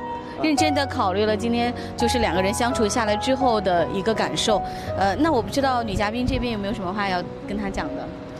哦，我的话也没有什么可讲的，觉得还是一咱俩都不合适吧，而而且都不是对方想要的那种人。嗯嗯嗯嗯，是。好，那既然双方都这么觉得呢，我们今天就不做勉强了。你看，他比我小三十岁，那你跟他脸的时候。我脸是黑斑多点儿有的斑多点儿那他脑子黑的很快的。既然你嫌大了，还聊什么呀？真是蒙在鼓里听打来，分不清东南西北。咱还真是被大爷给人家弄糊涂了啊！看得清的都明白，大爷是头发花白，满脸黑斑，大妈头发却是乌黑发亮，光润如月。真不知道哪来的自信啊！他这一走啊，是又恨。又爱，哎呀，那个心情挺复杂，不听话，说走就走了，这是恨。话这么说呀，你所以说什么也不想留了，别别留留痕迹。因为过去也劝过别人呢，那什么什么东西你赶紧处理啊，啊，呃，结果轮到我了，我自己安慰自己，处理吧，全是。就现在寻思有些东西，有些事情也后悔，那是那事儿不能。不应该，当时不应该的，哪怕留那么那几样。那现在想他的时候咋整啊？看照片呗。我经常晚上把电脑打开，就把他一些照片我打到电脑上，电脑开着，呃，在那看。眼泪啊，好多东西都是自己往肚里咽。我因为我没和别人任何人表达过，所以只能是自己默默流泪。嗯，叔，那你现在为什么要想找对象了呢？越来越孤独啊！看我们节目相中了一个阿姨，嗯，那你相中她哪儿了？从长相看吧，人到那儿去呢，这这就是轻装一化，都挺好的。那等我把阿姨领来，然后来咱这看看。天空一声巨响，咱大爷闪亮登场。人生有三千奇，唯有相思不可移。大爷已是厨房里的案板，尝过爱情的甜，吃过爱情的苦。自打前妻不幸离世后，自个的生活就没有了个盼头。好在人家也是成功的走出了阴霾。这次铁树开花再逢伊春，也是诸葛亮带兵出征，从不打无把握之仗。你要想再找另一半，想找个什么样的？我看那郭正大那个大哥挺好的，我觉得他这个人挺朴实的，挺本分的，嗯，啊，对人能善解人意吧，我觉得挺靠谱那种，嗯。一会儿我领你去他家，咱们去看看。好，行。在电视上都看着对方了，而且都是对对方特别有好感的。这就太巧了，都是有好感的。阿姨那个也是这两天看的节目了，嗯，对，好像没几天，啊，对，不到一周吧。真是端午节吃粽子，皆大欢喜啊！都说好的爱情是双向奔赴的，咱猜大爷大妈这两对怎么着？大爷是隔着屏幕就对人家一见钟情，大妈瞅见大爷的第一眼也是深深为之着迷。都说男追女隔座山，女追男隔层纱，那这次估计就差一层窗户纸了。这些设备干什么用的呢？起床这是玩的。玩的，嗯，这是我的玩具哦。这事我是想啥呢？成功了呢，呃，就算我对人类有个贡献；不成功呢，就当打麻将嘛，点炮了。啊，现在继续研究呢，继继续做呢。别说研究，嗯，咱就是玩儿。玩儿。对啊，在这个屋子可能就是这电脑利用率最高了。哎，对对。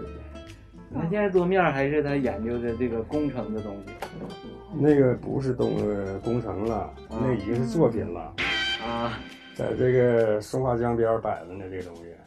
跟你也有关系，那是我亲手做的。啊，可能是白天的时候叔就是用这个电脑来操作这些工程的东西，晚上呢他是用这电脑放爱人的照片来看，来怀念。哦。重感情呗，好事儿。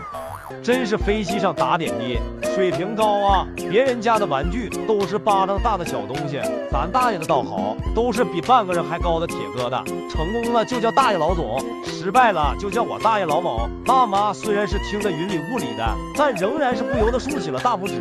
我说你对女方有啥要求？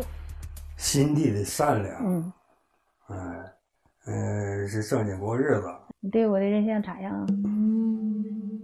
就是年龄大一点年龄大。你我感觉年龄是高一点嗯，那没事儿。嗯，当朋友也行，没事儿。不是，再找一个年年轻、年轻漂亮。那往下聊一聊呗。既然你嫌大了，还聊什么呀？就是阿姨是这样的。嗯。叔那，可能感觉大，但是你可能别的方面比较满，让他满意的话，他可能不会在乎这个。既然你这么说了，我心中就不得劲儿。我这人呢，嗯，呃，做事从来都非常坦荡，跟谁我没没啥隐瞒的。真是土地庙里填窟窿，不妙啊！问起大爷对大妈的印象，大爷却是胡同里赶猪，直来直去，直言大妈看着面相太老。大妈一听也是直接明白了人家的意思，都这样说话了，那指定就是没看上四个呗。红娘也是扁担挑水，心挂两头，直言大爷并不是想要就此结束。没想到大妈一听是更不乐意了啊！就怕你这个事儿在你心中算一个影响，他其实呢是想要跟你再聊下去，看看如果行的话，他不介意这个，他是怕你心里会把这当成个事儿。嗯，其实他是这个想法的。哦。那就再聊聊吧。那你看，他比我小三十岁，嗯，那你看他脸的时候，我脸是黑斑多点有那斑多点儿那你他脑子也很快的。真是唱戏的腿抽筋，属实下不来台啊！大爷的头发都要白完了，但是反观大妈，却有一头乌黑发亮的秀发。再说脸上的褶子褐黑斑，就是美颜开到最大，谁老谁年轻，那也是一看便知啊。说，嗯，就是阿姨其实能现在能理解说你对年龄这个看法了，就是其实她呢说，如果说你不介意呢，可以试一试。是怎么是啊？年龄差它永远是变不了，就这么大了，是不是？完了，咱也不能瞒，咱也不能藏，是啊。该多大就多大。既然你都那个嫌大了，就算了吧，做个朋友吧。花开花落中有时，相聚相逢本无意，最终相亲也是以失败告终。喂，我下去一下，在哪里你？好嘞好嘞，你稍等一下啊，我说一下啊。哎哎，好嘞好嘞好，马上上来。真是秧地里窜老虎，意想不到啊！前头大爷还直言自个月入过万，名下还有三套房，嘴上说着相中了要请客吃饭，没想到吃饱了嘴一抹，就拍屁股直接走人了啊！你辛苦，这是怎么这个从厦门过来的？啊，对，我哎，对对对，为啥没坐飞机过来呀？我因为我在沈阳一个朋友，我顺道看看。啊，是从从沈阳转机过来的。是是是。哎呀，这一路还挺辛苦的。应该应该。大哥，你是我们原来不玩史上最远的嘉宾了。最远的。对呀，特意从厦门过来的。对，这女性啊，非常善良大方，贤惠。啊，能干，还有个能说会道，能说会道。哎呀，我们东北女人这个印象这么好啊，在你心里。天空一声巨响，咱大爷闪亮登场，真是刘姥姥进大观园，大开眼界啊！咱节目的粉丝还真是来自五湖四海，李大爷可是不远千万里，转了两班飞机才到达现场，纵使路途遥远，也抵不住人家对咱东北女人的热爱。红娘也是直鼓掌见识了，看来咱大东北的女人对外的口风。还真是不一般啊！我有一个不不太礼貌的这个这个疑问，没事没事，自管问。这个咱们这个脸上，我看刚才这个手上，这是这是咋？这个是是这样，因为我是搞建筑的啊，呃，被太阳晒白斑。是那个白癜风？也算是白癜风，治不好，最近这两年才有的。我看那个这两个手都有啊，这手上身上好好的啊，身上没事儿。对啊，我治疗过。一般来说，可靠性太差。对，因为因为据我知道，就身边人也有过这个毛病，好像是不太容易。不重视，非常顽固。所以有时候我在外面，比如我们在一会餐这样，我就很少避免，经常避免出去。手一动一动的，搞得自己非常尴尬。啊，也会觉得心里头有点很不舒服。大夫有没有说这个这个病会不会影响就是人的健康寿命？不会不会不会，关键自己心情好，想开一点，一点不影响。我讲实话，不疼不痒不传染啊，就是难看。说大家如能接受。就是不接受，不勉强。咱主持人作为一名资深红娘，一见面就把大爷观察的细致入微，一下就发现了大爷的不同。小心驶得万年船，毕竟万一给大妈镶了个炸药桶，那岂不是酿成大错了啊？面对红娘的质疑，大爷也是胡同里赶猪，直来直去，直言是因为自个工作原因，但也是拍着胸脯保证，绝对不传染，不影响。我今年夏天嘛，在那个广东肇庆买的防存的一个收据。因为刚刚是个期房，那个房款证、那个房产证没下来。这个房子是你名下的呗？是我名下的，全权的，八十多。除了这个，在贵阳还有两处。贵阳还有两处？哎哎哎，对，一个六十，一个九十。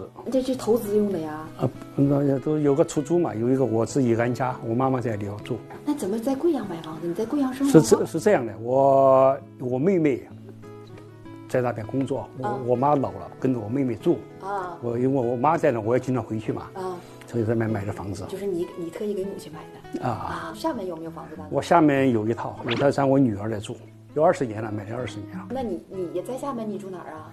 我厦门都一起住啊。啊，你跟女儿一块生活呀？我就是说在住还是一起住啊？再个，我们单位以前还有一个公夫房嘛，公房有在住房，哎对。那没有产权的，真是泥鳅钻洞，深藏不露啊！都说饭馆保钱给够，漂亮媳妇就能往家凑。咱猜怎么着？大爷名下不仅足足有三套房子，而且每月的收入加起来可有一万七千元，妥妥的钻石李老五啊！白纸黑字的证明可都摆着呢，还真是小马拴在大树上，牢靠啊！可见人家不远万里也是信心满满啊！被发现可傻了，没啥心眼就没。后期那女的都快生了才知道。嗯呐，就有次出门回来，我说咱一会儿出去吃饭去吧。完完我我家原来还有个洗浴，完我们就去吃饭去上洗浴，那女的就跟去了。明目张胆找。嗯呐，是，孩子肚子都挺大了那时候，他那个拿酒泼我前夫了的，就逼他离婚呗。对，那是第一次见到那个女的吗？你？嗯，对。你当时啥反应啊？我啥声没吱，我说咱回家吧。等我回家，我就问他，我说这女是谁呀？他就说外头有外遇了吧，这是那哈都要生了，是原则性事儿，不像别的事儿是吧？说原谅不了，他就说那个我让他打了，他要不打的话，生了把孩子送农村去。他不想离婚，没办法，我就必须得离。天空两声巨响，咱大妈闪亮登场，真是厕所里扔炸弹，激起民愤啊！要说婚姻中最害怕的莫过于两件事：出轨和家暴。前夫这一偷腥出轨，把人家肚子都给搞大了，不仅导致了大妈家庭的破裂，而且又害了另一位女人啊！原则性的问题一旦触犯，长痛不如短痛，大妈也是把刀劈断，说断就断。你好你好，认识你很高兴啊！我也是。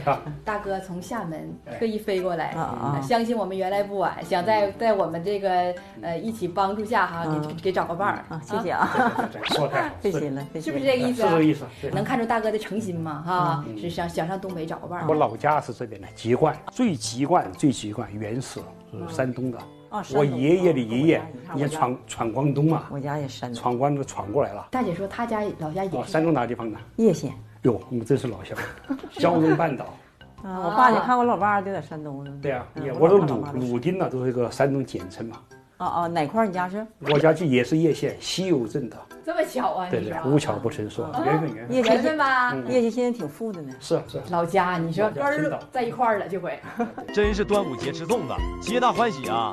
花开花落中有时，相聚相逢本无意。咱是千算万算都没有想到，大爷不远万里上台相亲，没想到在异地还能碰到一个村的老乡啊！这阴差阳错之下，还真是上天给予的缘分呀！都说老乡见老乡，背后捅两刀，那咱们就骑驴看唱呗，走着瞧吧。不错啊，长相标致，皮肤白准白润哈，身体也苗条，感觉很面善，啊，都说有点老乡嘛，反正有有点亲切感。眼缘还可以，他这脸这一块，你没看耳朵这一块白一块，那块啥呢？是是白癜风吗？对，因为我也是见着他才看见。他那个病有没有事儿吧都？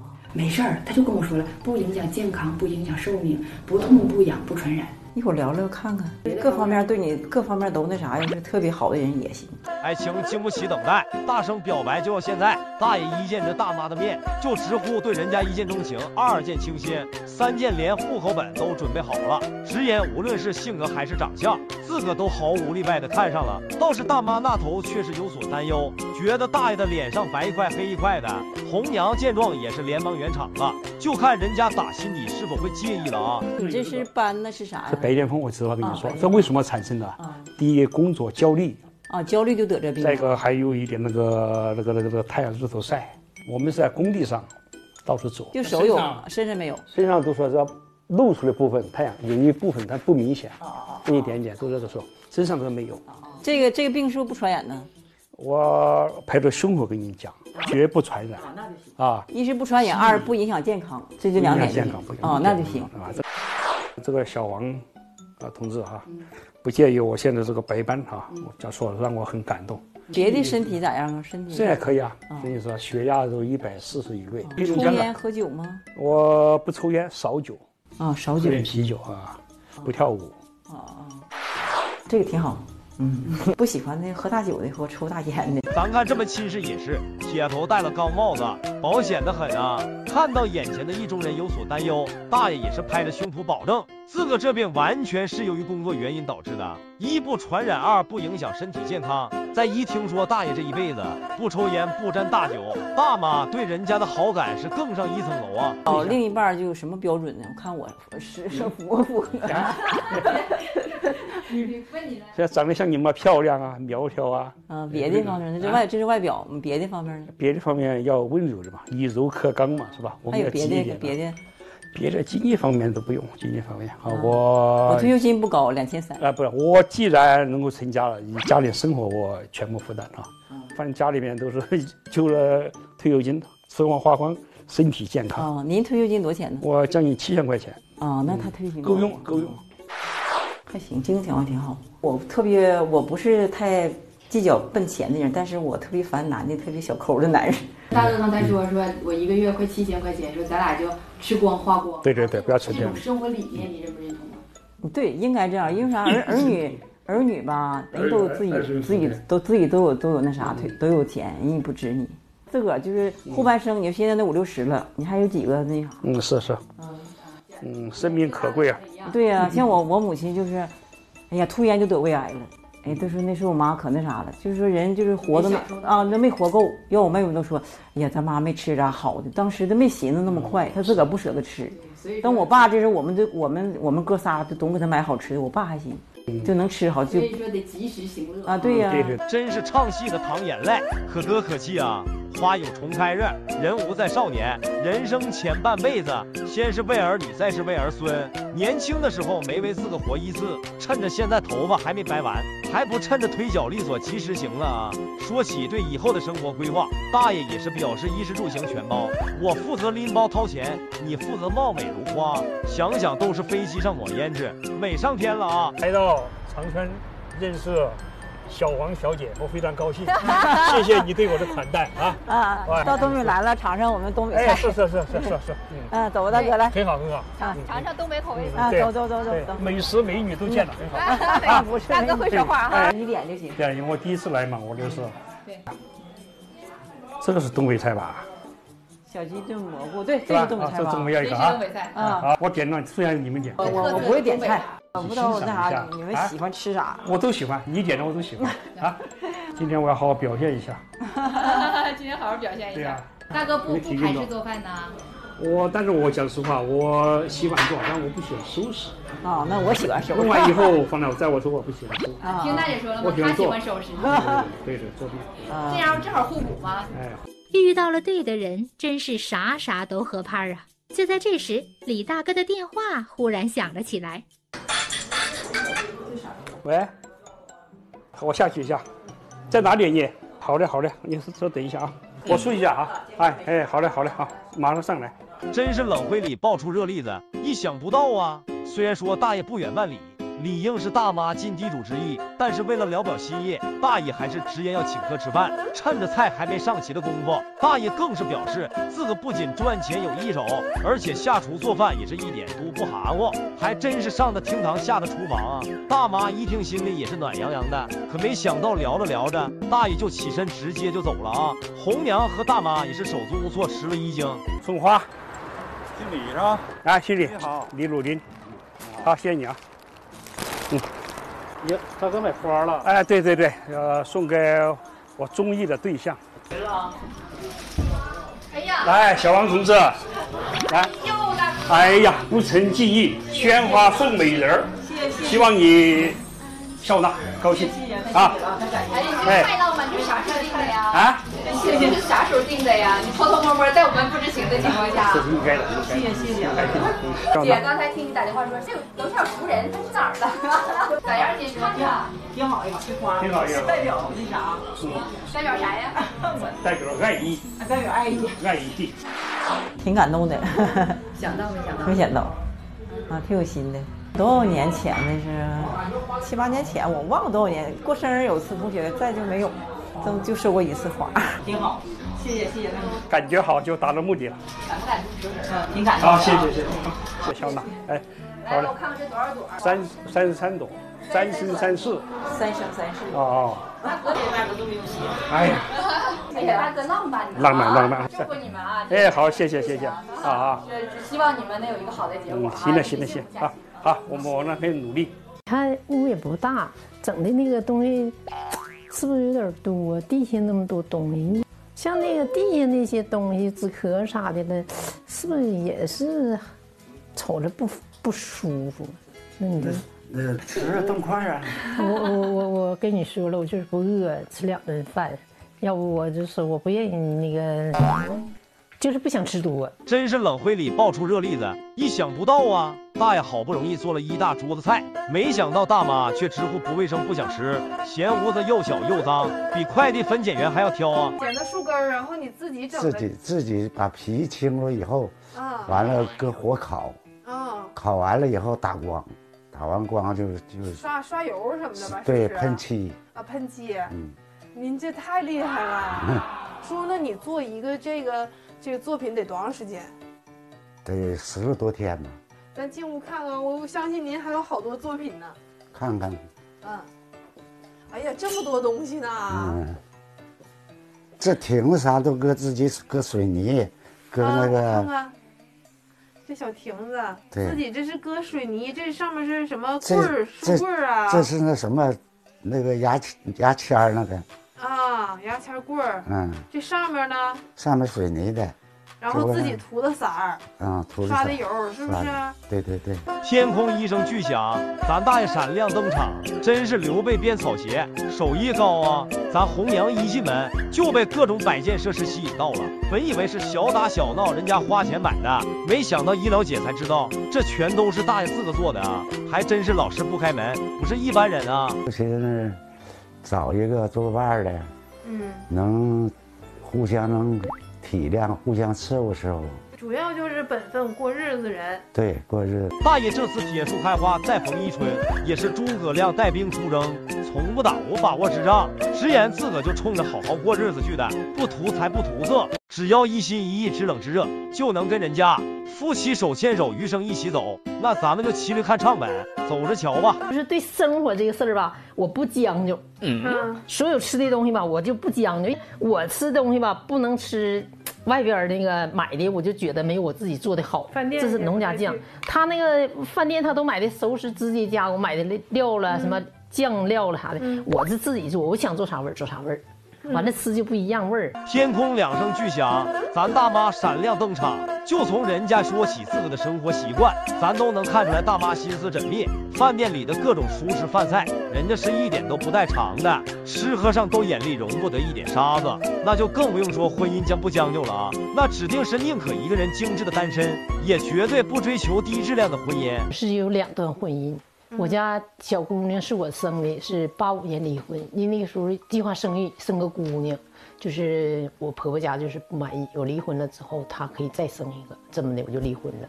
跟我爱人是跟我这个第二夫人的丈夫呢是九零年结婚，一直到一九年去世。要我妹妹以前就说大姐给你报个名报名，我说我心情不好，不要跟我说这个。今年好了，哦我妹妹说的大姐一定给你报名，我天天看那个老多好的了，就你不报名自然也联系不上。我这人吧就也挺开腾的，没啥想法，找的就是伴儿，别的跟我都没关系。嗯，我有工资，就是不找我也能活，但是心情不一样。要找个伴儿，就是俩人都乐乐呵呵的，快乐点儿嘛。快乐能杀菌，又不是说图多少钱，就是这种想法。说起自个的感情经历，大妈也是长江里的石头，经历过大风大浪，自个前前后后共经历过两段婚姻，人生有三千奇，唯有相思不可移。好在自个已经完全从阴霾中走了出来，这次勇敢依次上台相亲，也是做了很长时间的心理准备，看来还是忍不住孤单寂寞了啊。闻着香味儿了闻着香味儿，啊！这铁证。做这么多菜，有小狗啊？嗯，嗯，这小狗还不叫。不叫养几年了？养九年。哎呀呀呀呀哎呀，做一呢？哎呀呀，哎呀，做一了。菜做的都差不多做完了是不是？挺快呀。行，那正好吃饭点儿，一会儿咱坐着聊呗。那那个阿姨尝尝叔叔手艺啊。动筷吧，动筷吧，给你个猪爪。哎，不用，不用，我我我我够不着我就夹，谢谢你。哎，好了，管用的，没嗯，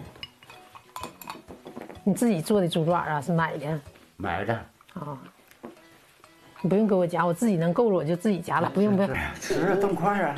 我我我我跟你说了，我就是不饿，吃两顿饭，要不我就是我不愿意那个，就是不想吃多。真是土地庙里填窟窿，不妙啊！虽然说大妈一进门就看到了一桌子香扑扑的饭菜，红娘也是忍不住夸赞人家的手艺。没想到等大爷为人家夹菜盛饭时，大妈一听说这是熟食店买的，一瞬间就不乐意了啊，直接就放下了筷子，没了胃口，生怕吃坏肚子，在厕所里起不来了，整的大爷也是不知所措。我也不知道我说的对不对，你这么喜欢宠物，嗯，我不喜欢。啊，是吗？嗯，家里要养宠狗，不能跟人在一个屋里。我爱人那时候喜欢狗，我们就跑农村租个房，在那儿待一年，养一对狗。就是狗一定跟人不在一个屋里头，是这样式儿的。不在屋里拉，不在屋里尿，训练老好了。宠爱的不一样，就是人就是因为现在喜欢的不一样。好多年龄大的老人，因为一个人挺没意思的，没意思，对，就是就是那种有一个小狗，或者是养个小猫，就是陪伴吧，开始我也算是。老人给我拿来了，他说那个给你这要个小狗，你养什么一天没意思。不能在一个屋檐下，还是觉得它可以在厅里，然后不能进屋什么的那种。就是狗不能跟人在屋里头，别的吧，我其实我没啥要求，我也不知道我这么说，大哥介意不介意？我不介意，嗯，这个不算啥的，对，不行了给人家一样的。真是和尚进了孤子庵，大事不妙，一波未平一波又起。饭菜不合胃口的这还没过去，大妈又直言狗不能和人家在一块。说着说着手又开始拍他衣服上的灰尘，看来人家是打心底觉得大爷家不卫生啊。都是孤单寂寞了这么多年，大妈肯定明白大爷也是为了能有个伴啊。不过一码归一码，好在大爷愿意为了大妈做出改变。会不会玩手机？不会，智能手机。是。那你现在？你现在用啥呀？用老年手机呀？老年手机。那你应该学智能手机了。那这个这个是叔叔现在用的手机。不是那个那个袋儿兜子里那个。啊啊。这个，啊。叔叔也有微信。这个岁数应该会，你看我二舅都八十七了，每天给我发微信，每天都给我发微信。我不愿意整这个。你要跟上时代。那个多好啊！不是那搁兜里它不沉，这玩意儿老了老沉了。那现在都带这个啊？这个这个小是不是？对呀，那是老年手机揣。嗯，这个老年机。嗯。现在就是八十多岁的人都玩，都应该与时俱进吧。那不是玩的意思，就是一定要适应这个社会。对呀，你要跟你孩子打个电话，说个接个视频，接个视频电话，省得互相惦记嘛。我这有时候跟我儿子做视频。对呀，你岁数也不算大，一定要学这个，一定要学，这是生活的一部分。这个东西吧，其实不是日后生活里头有多主要的，这会可能是锦上添花，但不会，他也其实也不是。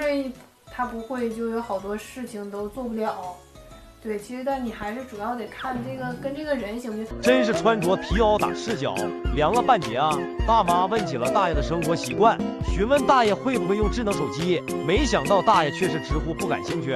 既沉又难学，自个是没放心上，没想到大妈就直接不乐意了，直言大爷跟太落伍，不上时代。顿时间好感全无了啊！看的红娘也是扁担挑水，心挂两头，直言咱是上台找老伴的，又不是找会不会玩手机的。那个这个手机吧，就是那天打电话前你跟我说，我说一定得会玩手机呀，要不我就有点接受不了。那你刚才看见这个尝这个叔做的饭，我看你也不太想吃，是不习惯在外面吃饭，还是不习惯？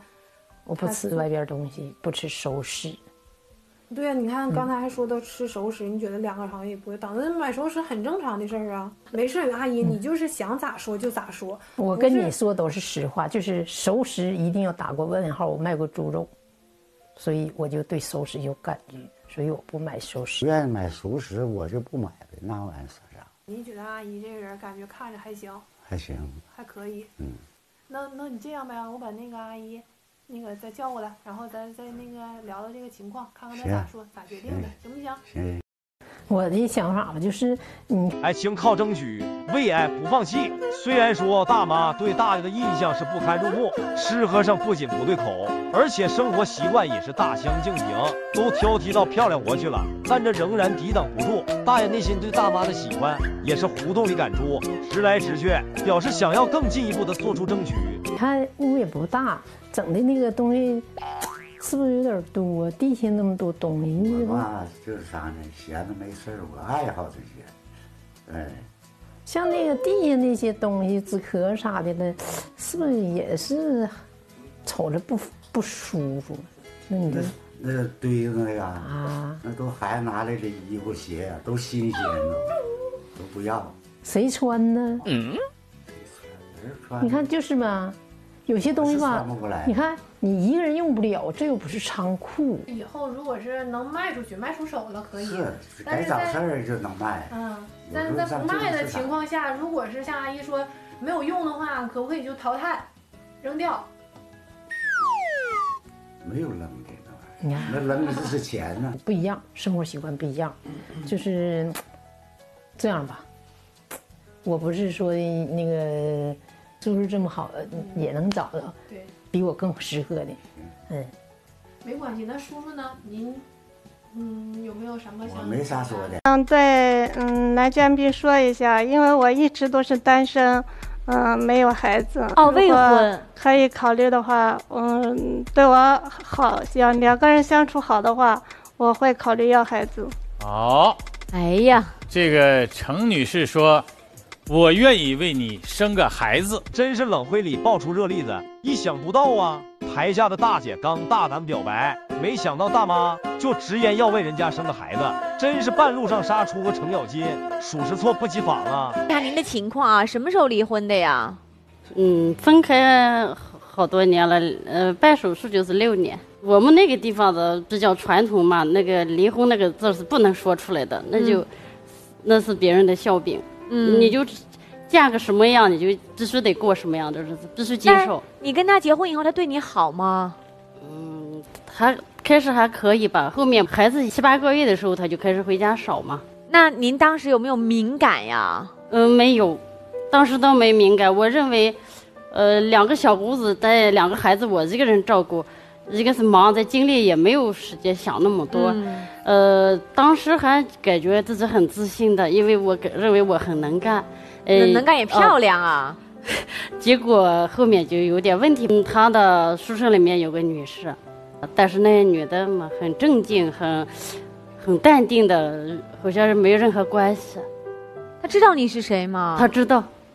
因为我带着孩子嘛，天空一声巨响，咱大妈闪亮登场，真是厕所里扔炸弹，激起民愤啊！大妈回忆自个的感情经历，要说结婚最怕的有哪几点，无非就是酗酒家暴完大牌戴绿帽，大妈就是不幸的被头顶青青草原，痛苦的是迫于村里的习俗，大妈还只能忍气吞声。现在想起来都为之心痛啊！这种不可理解的这这种忍辱负重的这种。这个我觉得过不下去就就离了就算了呀，这个东西特别像这这种事情嘛。要我的话，我肯定接受不了，自己一个人在家辛苦带孩子，丈夫嗯还出轨，接受不了这种背叛。他后面那女的又不要他，啊，他又来找我复婚，我是不可能复婚的。他还找你来复婚呢？对。他怎么说的呀？他没有见我，他见我哥哥了。跟我哥哥说让复婚，我哥哥给我打电话说，呃，这个孩子他爸过来说是复婚，我说下辈子再考虑吧，这辈子是不可能了。不是他也好意思说呀？台上的男嘉宾乐也是直呼。傻大姐唱歌属实离谱，韩信受到了胯下之辱，是因为人家三十年河东，三十年河西。大妈忍辱负重这么多年，却只是因为谗言可畏，这是搁谁身上都受不了啊！一朝被蛇咬，十年怕井绳。虽然说前夫痛改前非，跑来求复合，但大妈也不是好欺负的主啊！长痛不如短痛，也是把刀劈砖，说断就断。大家好。李老师您好，你好，方老师，你好，你好，谢谢，谢谢，谢谢，这是我们的一号女嘉宾，嗯，你好，你好，啊，李老师在健身吗？我喜欢运动，是吧？能够看出来啊，王老师跟您身材有一拼呢，那还是王老师好，哎，没有没有，这这你这一看，起码在五年以上，甚至都不止，嗯，一直喜欢运动，你看，是吧？那太好了。哟，还会吹萨克斯呢，喜欢音乐是吧？挺好的。今天带萨克斯了吗？没有没有，前几年吹过几年，后来也就撂下，也再没有没有。多帅呀，那会儿瘦吧？对，天空两声巨响，咱大叔闪亮登场，真是泥鳅钻洞，深藏不露啊！大叔不仅在锻炼上有一手，而且还音乐细胞也是嘎嘎的好。就瞅着人家戴着墨镜捧着萨克斯，那年轻的时候指定也是意气风发、风流倜傥啊！三号女嘉宾在暗灯，三号女士您好。我觉得二号男嘉宾挺精神的，挺干练的。谢谢谢谢。就是说他觉得也不错。两个人如果能够牵手，我会祝福他们；如果不牵手的话，我会考虑争取。真是冷灰里爆出热例子，意想不到啊！咱大叔才刚刚登台亮相没一会，各种才艺展示和介绍都没做呢，就有一位大妈对人家暗生情愫了。虽然说近水楼台先得月，但大妈还是胡同里赶猪，直来直去，抛出了橄榄枝，主动示好，并且还表示如果两人牵手失败，十年磨一剑双刃未曾试，自个就要大胆登台，勇敢追爱了啊！那咱们就骑驴看唱呗，走着瞧吧。也是经历了一次婚姻的变故。是的，什么时候啊？去年就是。去年才离的呀？呃，也是跟这位女士一样，很多年不幸福吗？我们是这样，就是开始还可以吧，感情还不错，因为我们是大学同学。嗯。但是可能性格上还是有差异。嗯。十多年以后，就是我，特别是我那个孩子，第一个孩子，嗯，八岁的时候，嗯，他患了那个脑瘤了。哎呀。完了，从这个孩子，完了做手术，做完手术。昏迷了一个月，那个出来完了出院以后，他这个半边都不太不太灵活。嗯，但是他还是在要求他这个学习上面要怎么样怎么样的。完了，我就想孩子已经这样了吧，应该健康是第一的吧？当然当然。所以就这个我这方面就跟他有就争执，经常是这样的。他还要求孩子去考试吗？也就学习是完了，先是上学，完了就是对这个考试也有要求啊什么的。但是我们知道脑瘤这个疾病其实对孩子大脑是有一定伤害的。他特别后来是又做了那个放疗了，放疗他不这个他是头部这个脑瘤，呃，对这个的脑损伤也比较大。他其实智力其实已经比较低了。反正这个孩子生病以后，我们这可能矛盾啊，或者就是那种就多了，吵架什么的。对孩子应该不好。可能大了以后，我们不在的话，可能需要照顾吧，就想再再要一个，完了就要了现在这个小孩但是这个小孩刚要上，生下来他这个复发了，复发完了，离开了我们。真是擀面杖吹火，弄不明白啊！大叔的感情经历虽然说不比大妈的惨淡，但更多是白发人送黑发人的心碎啊！女儿不慎患上了脑瘤，本来学业繁重就有所吃力，再加上脑瘤本就影响思考能力。虽然说学业为重，但是在生命面前，一切都得为之让路。但没想到前妻却仿佛不懂得这一点，不仅丝毫没小心呵护，反而是更加严厉督促，最终导致孩子旧病复发，不幸离世。可是你不打麻将吧？不打。呃，你吸烟怎么样？我也不吸烟。哦，好，太好了，太好了，谢谢。没有什么了。你几个孩子？我两个孩子。呃，是男孩还是女孩？男孩都工作了。哎呀，不知道问啥。他们俩有可能会成吧？你的饭做的怎么样？呃，你家常便饭应该没问题。因为孩子是我自己一个人带的。哦，带，大的对。你平时喜欢做什么？就除了这工作以外？工作以外锻炼身体，呃，跳肚皮舞、练瑜伽、走快步。哦，挺好的。对你们这还真的有。他们俩对得上了，对啊，对练健身啊。这个先生的这个身材能练成这样。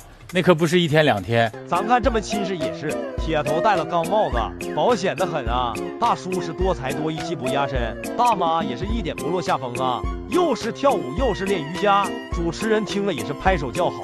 两人要是真的走到一起了，那共同话题可是一点都不会少啊。嗓子不舒服，所以抽烟我绝坚决不行的。嗯，烟是我是一点都不抽，酒。少 喝一点就是酒还可以适量喝一点，适当的可以。像当时说，如果有机会，还希望有个孩子，是吧？嗯，是是这样想过，就是嗯。但是是必须吗？看你如果条件允许的话，我想。女士呢？随意吧，随意。哎，这很好啊。呃，李老师是个男孩姑娘呀。女孩今年上初一，哦，下这下半年就上初二。我特别喜欢女孩子。三号在摁灯。我想对嗯男嘉宾说一下，因为我一直都是单身，嗯没有孩子。哦，未婚。可以考虑的话，嗯对我好，想两个人相处好的话，我会考虑要孩子。好。哎呀。这个程女士说，我愿意为你生个孩子，真是耗子追猫，意想不到啊！大叔和大妈在台下聊得正火热呢，一问到孩子的问题，大叔的心里始终是有个死结，大妈正在想着如何把这关给过了。没想到久未表态的女嘉宾，如今再次出手了，直言自个这么大岁数了，从未结过婚生过月，半路却杀出了个程咬金，猝不及防啊！主持人见状都忍不住呼出声来，两女争一男的场面可好久没见。过了，高手过招，属实精彩啊！两位认真考虑一下啊，是否愿意跟对方呢好好的交流一下？如果愿意的话呢，请在我倒数五四三二一之后向后转，要勇敢一点，面对自己的情感啊，交流一下，合适就合适，不合适我们再继续找嘛。来，现场准备，五，我想见二号男嘉宾。四，二号先生，您想先见哪一位？先见一号吧。三，应该差不多。二。我觉得男士可能会转身，女士不一定。一，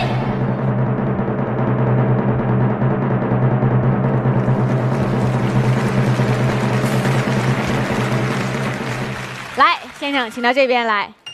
先生，为什么最后没有转身啊？觉得还是欠一点感觉吧。嗯，我我非常理解。我觉得这位女士真的是一个特别好的人，而且呢，也是一个非常有魅力的女人。我相信一定会有一个男人会奔你而来，对，等着我们的电话，是好吗？好，好吧，来，掌声欢送一下一号女嘉宾。曹操败走华容道，不出所料啊！都说男追女隔座山，女追男隔层纱，大妈都主动转身表明心意了，没想到确实没能换回大叔的转身啊！那就问一下三号女嘉宾吧，愿意出来见一下二号男嘉宾吗？我愿意见一下男嘉宾。好，请准备。那您休息一下，这里。掌声有请三号女嘉宾。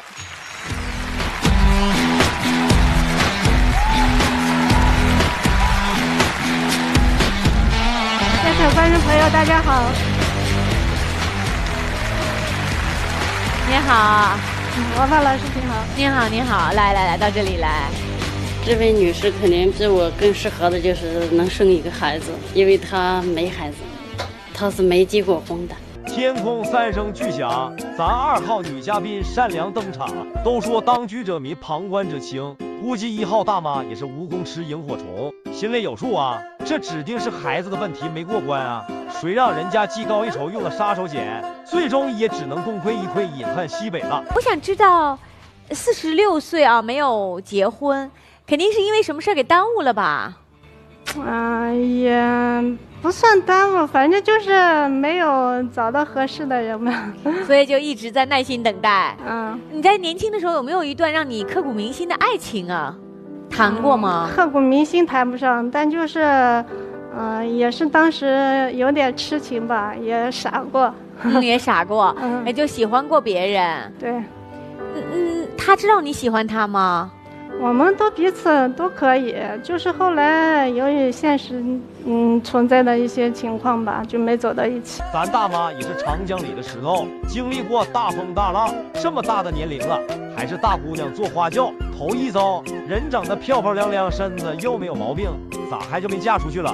没想到说起人家的感情经历，大妈先前也有过一段真挚的感情，但由于现实问题，却没有走到最后。再加上父母身体抱恙，直到把父母伺候到养老送终，这才勇敢一次上台相亲，所以才一直耽搁到了现在了。你有亲友团吗？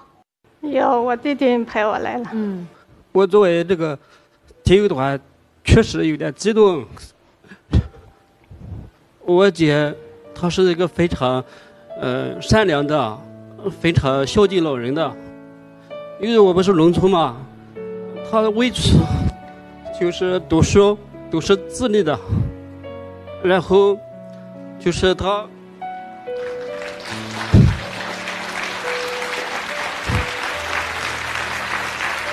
我们的父母就是基本上就是他照顾，照顾。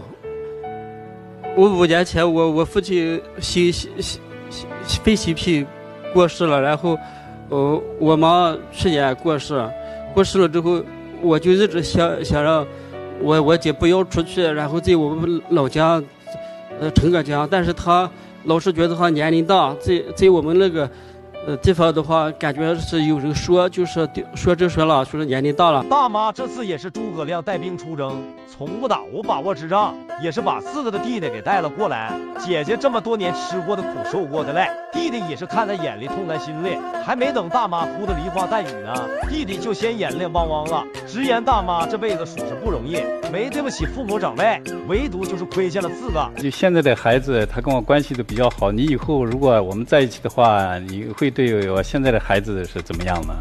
我只要选择对了一个人的话，我会全身心的投入，会对他的孩子好的。嗯，好，谢谢。刚才我看你好像做俯卧操，应该身体很好吧？啊，身体我一直很好。因为我觉得人这一生吧，平安健康是最重要的。对。什么财富你没有健康都是无福享受的。身体这个没问题，棒棒的。我牙不好，不介意吧？哦，那都不是问题，那个可以，咱们可以整啊，对不对？真是端午节吃粽子，皆大欢喜啊！由于大哥膝下还有个小女儿，也是打心底担心人家会不疼惜。大妈一听也是表示，以后要是真的走到一起了，这个绝对会是如己出，夫妻手牵手，余生一起走。平时你。做什么呢？都以前也上班，就是生活比较单一。我这人反正就是不喜欢打扰别人吧，老是嗯上班下班吃饭睡觉。现在嘛，这几年就是在老家，就做做理财方面的。哦，会接手成功，但是能不能相处好，很担心的。我没什么了，其实我觉得一个人只要健康，嗯。然后性格，嗯，随和，嗯，对我好就行了，其他不重要。嗯，对了，我就问一下你，你你性格怎么样啊？我性格也挺好的，从来不会跟人发脾气。你看看他弟弟的状态，你就知道他的性格怎么样。其实，我特别主张我们的恋爱男女呢，看一下双方的家庭状况，这个特别重要。所以说，你看刚才弟弟的发言虽然很简短。但是我从他刚才的发言当中看，看得出来，这是一家不会给你找麻烦的家庭。嗯，好，加分。真是唱戏的淌眼泪，可歌可泣啊！看到两人在台上聊的你来我去的，主持人也是路见不平一声吼，该出手时就出手，直言两人在一起过日子，完全不会有芝麻烂事。就凭借人家刚才掏心窝子的言论，指定不是那种挂羊头卖狗肉、虚情假意的人啊！看到主持人都为大妈说好话，大叔心里是更加认定了啊！两位经过刚才的交流，是否愿意跟对方？再好好交流一下呢。如果愿意，请在我倒数五、四、三、二、一之后向后转，请准备。五，我感觉我比一号更适合二号男嘉宾。四，两个人相处好的话，我会考虑要孩子。三，这个男的非常非常老实。二，我很期待他们能牵手成功的。一。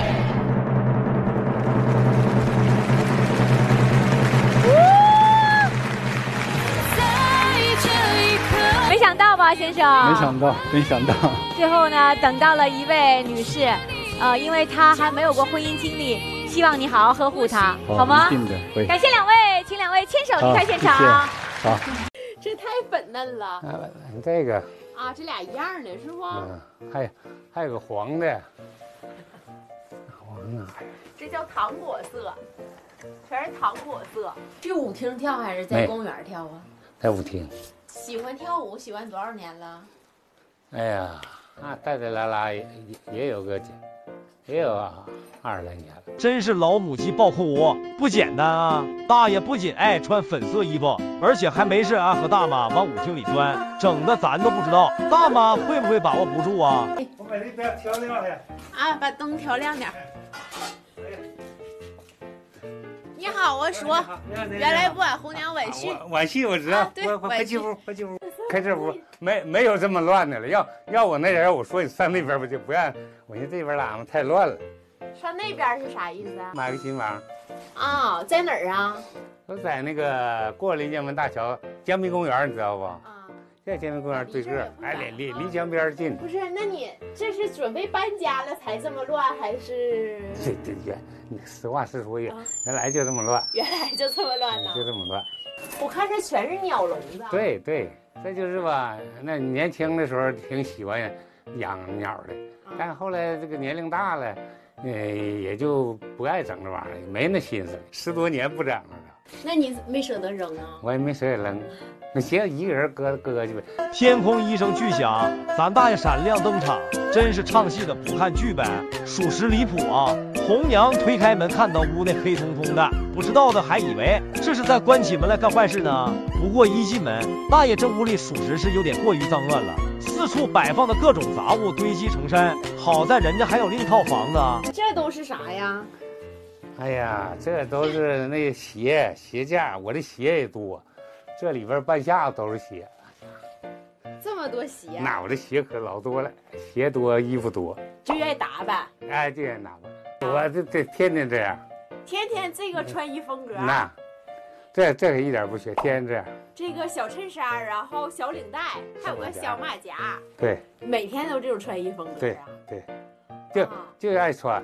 你你看家造的乱，本本人爱穿。哎呦我天，全是新鲜色儿。你看，那我我这我这这衬衫，你看。还有粉色。那粉色，那个什么，还有那个蓝色。蓝色。哎呦我天！你这赶个彩虹的色儿。可不是，这太粉嫩了。你这个。啊，这俩一样的是不？嗯，还还有个黄的。黄的。这叫糖果色，全是糖果色。这啥都都都挺艳丽，这太新鲜了。为啥就爱穿这新鲜？哎呀，显得年轻呗，有活力。嗯，还有点活力。你这岁数大了，你再不再不咋呼咋呼，那不更干啥了？真是刘姥姥进大观园，大开眼界啊！别看大爷的屋子是不堪入目，但是人家的穿着打扮还真是没话说。别的地方都是乱糟糟的。可唯独衣柜是一尘不染。都说人靠衣服马靠鞍，大爷这各种西装衬衫，红的、绿的、粉色的，五花八门。咱也是大姑娘做花轿，头一次见着这样的大爷。不过就怕一出门被人家叫老不正经呀。愿意逛商店，你要没有一般男的人不爱逛商店。对呀，我就爱逛商店。哎呀妈呀，叔，这也太多样了吧？哎呀妈，这比小年轻的都多。年轻人不行，我儿子不行。那你儿子像你那不行，我儿子那可照我差远。这的花的、格的、纯色的，啥各种各样颜色。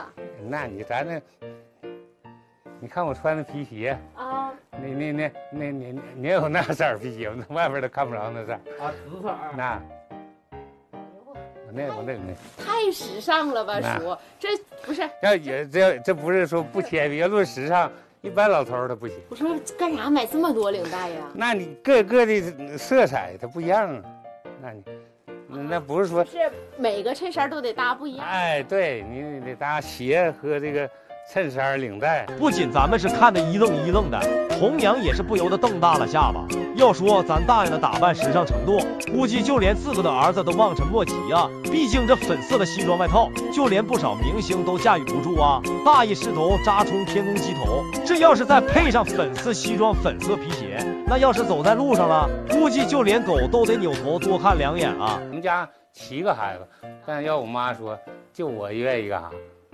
就愿意买，就说吧，你穿衣服吧，这这个不一定说给别人看，你给自己，他那个心情，也也是个，也是个转变，也是个焕发。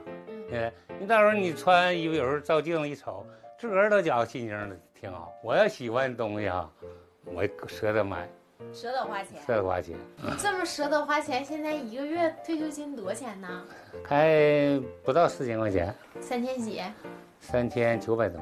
咱之前是做啥工作的？呃，他是啥呢？就就是工人。但是我吧，反反正跳舞人要认识我都知道。我到那哈不玩，净看卖单哎，就跟人认识人唠嗑。那你不跳啊？你肯定也得跳啊。跳的时候很少。呃，去舞厅跳还是在公园跳啊？在舞厅。喜欢跳舞，喜欢多少年了？哎呀，那带带拉拉也也有个。也有二十来年了，这事儿吧说好像自个儿干啥了，确实人是这么说的。人家说这舞厅，别看这屋年轻的、年老的，嗯，就这么一个大帅哥，你你还有这么说？这实话。说这大帅哥说的就是你。哎，你说就这么一个大帅哥，真是泥鳅钻洞，深藏不露啊！就看大爷脸上的得意程度，咱就知道人家的女演员指定是老母鸡泡空窝，不简单啊！这么多年从没错过一次舞厅，整的里面的工作人员都指认大爷这一个大帅哥啊！楼也也是有年头的，那当然是。是不？啊，这可不是没咋整啊也。那，你看看，啊，这样，这还是粉色的这个墙纸呢。你看看，这这这不洞房吗？洞房。啊，结婚新婚洞。那那当然是。不是，这是你自己后整的还是人家原来？我后整的。你后整的啊？整成粉色。那多带劲暖，这不暖暖色的吗？你看，我找老伴儿，他东西没地方搁。你看我这柜，这家伙上下能能能搁老多东西了。再搁一个人的，那没问题吧？这大爷的柜。这我里边都糊，都糊干干净的。嗯，熟。那你那啥，你这屋一共多少平？五十五吗？五十五平，花多少钱买的？二十五吗？那是全款买的。那你得得全款。那 说说有正事儿，有正事儿。你玩是玩，我们什么人得自律，该攒钱咱得攒钱，该找老伴儿的就找老伴儿。咱本来都以为先前的算完了，没想到大爷把红娘领进邻里的家后，今天净掉下巴的次数还真是比十几年来加起来都多。啊大爷还真是对粉色情有独钟呀，不仅身上穿的是粉色，就连墙纸都是清一色的粉色。大爷不仅喜欢和美女跳舞。还往了女人堆里凑，这要喜欢粉色衣着打扮，咱都不知道大妈见了要咋想啊？没有，再也没找。我女儿小，我就不想找。我为了我女儿，你说再找一个，介绍的挺多，年轻的时候。对你那时候也不大，应该。对呀，好找我。完了，我女儿，我寻思她小，完我再找对象，孩子怎么办呢？你说女儿怕孩子再受气，为啥我妈掉泪？知道我这些年很不容易，这么多年我独来独往的，真是没人管。我没说吗？就是说这一辈子没感受到说，老公那就是疼你那种感觉哈，没感受到。钱不是我们跟你说吗？哎呀，上班啊，叽里咕噜的，反正伺候孩子，完这孩子咱也没结婚，也没寻思对自己负责任。说心里话，啊，我就寻思找一个有责任心的呗，是不？完了的能对我好的，能走到最后的吧？嗯，是，希望有眼缘，穿戴啥的也得利利索索的这种人。你看，都要是两个人在一起了，你就他穿的利利索索，也是都互相脸都是吧？要领出去一下，哎呀，挺好的，找个伴是吧？天空两声巨响，咱大妈闪亮登场。说起自个的感情经历，大妈也是长江里的石头，经历过大风大浪。自打和前夫离婚后，为了女儿能够健康的长大，大妈这么多年始终是坚持一人，忍得了一时的孤单寂寞，但是却受不了终身的孤寂啊！这次勇敢一次上台相亲，就是想找个穿着打扮利索的。那咱看这门亲事也是，铁头戴了钢帽子，保险的很啊！大娘，大娘你好，姓啥不？我是。呃，两头喜欢，喜欢小孩喜欢老年人。我我跟老年人最能唠到一块儿去，越越岁数大的越能唠一块儿去。年轻人都不愿意跟老辈人唠，就就愿意跟老头老太太唠。嗯呐，有爱有幽默，挺爱心。嗯呐，是有爱心。我这喜喜欢。我要给你俩介绍一下呀。好吧，你俩自己介绍吧。嗯，我们。会姓张，张玉香。我我姓关，啊姓关呢。啊，好。握手。来吧，哎，你好，你好，哎。那是肯定不行。那那那你长得差点。这是什么意思？抬头纹没头，我这有吗？你就好点那他也没有，那你你抬头纹，你要不这鱼尾纹呢？我咱不不说，我又炫耀我自己了。那我这个俺话说。说在他我听说他第一大帅哥，那一跳舞腰板一直，那啥我那咋的？他就得给这个称号，他就得给这个称号。真是土地庙里填窟窿，不妙啊！两人一见面，虽然说是有说有笑，但是真的问起了对大妈的想法，大爷却是直呼没眼缘没看上，直言大妈的长相太老，自个一个大老爷们都没有多少皱纹。说着说着，又炫耀起自个的长相和身姿了，还真是信心十足啊！你就眼缘上呗，好像是差点，那头整的那么高。不是今天相亲特意打扮打扮吗？不是，他就爱好，他喜欢那种感觉，可能。头发都稀，头发你看多稀呀！你那那姨那头发是烫的，都露头皮，就像这个山呢没多少树了。那你说，到岁数了，那不能你说六十来岁的人跟二三十。二三十岁那就这样说，嗯，咱来一趟，你再跟姨好好聊一聊。对，来礼礼礼貌，不能转身就走那。而且万一聊一聊，就是感觉又不错了呢，是不是？行，嗯，真是老奶奶钻被窝，给爷整笑了啊！大爷前头还表示，就凭自个的生活、身高、长相、衣着打扮，大妈绝对会拜倒在自个的粉红西装下，拿下大妈就是张飞吃豆芽，小菜一碟。没想到一问起大妈对人家的印象，还真是啪啪打脸啊！一共几个孩子呢？四个。他你他这个精神头，你这精神头就就能长寿啊！那个眼神我看那个人老前吧，你就看他俩眼球，这眼球要转的慢了，对，那就要坏了，迟钝了。那妹妹，你这眼珠，你看他这眼珠，那你多灵活呀！看。借你吉言。不是姐，你老太太吧，你能能干 啥？嗯，那是。我说老妈还行。我我今儿来说话，你记着，你你能活一百岁的。谢谢吉言。多吉言。你别我说话，你记，看我说准吗？我一般说啥挺准。嗯，你看那老太太，你看干啥？那个那姑娘都差不了。要我妈那前说吗？我妈说。唠嗑了。别别，我妈说找对象。种葫芦你知道吧？葫芦，种葫芦得靠墙。说姑娘呢得看她娘，对不对？听君一席话，胜读十年书。种葫芦的靠墙，找对象的看他娘。咱还真是学到了啊！虽然说大爷对长相是盲目自信，但是人家这蚕宝宝的嘴，咱还真是司马懿扶诸葛，甘拜下风啊！一通夸赞不仅俘获了丈母娘的心，而且连大妈都忍不住眉开眼笑啊！有啥爱好啊？我没什么，就这俩爱好。那打扑克、麻将，那我全不会。嗯，这抽烟喝酒都不行。那个跳跳交际舞了，愿意跳舞。哎，就就就是晨练，那个晨练的上上早的上午呢，都是老头老太太。哎呀，真的，反正是我不喜欢，就是是交谊舞，我连去过都不。对，我不喜欢。也是思想比较守旧。嗯，那不是守旧，就是这种跳舞我不喜欢。男的在外跳舞的，那都交谊舞都得一男一女跳舞。我是特别不喜欢这个事儿。就说像他这个想法，对这个吧，他没干啥，他有偏见。他在特别是他不去这个场合吧，听别人说，把那里说的好像挺糟糕的。哎，那也有很多那什么样的跳出破家庭那什么的，很有。那个就说那个那个跳舞离婚的事儿是，他是有。对。但是咋回事呢？这我一说你就明白了。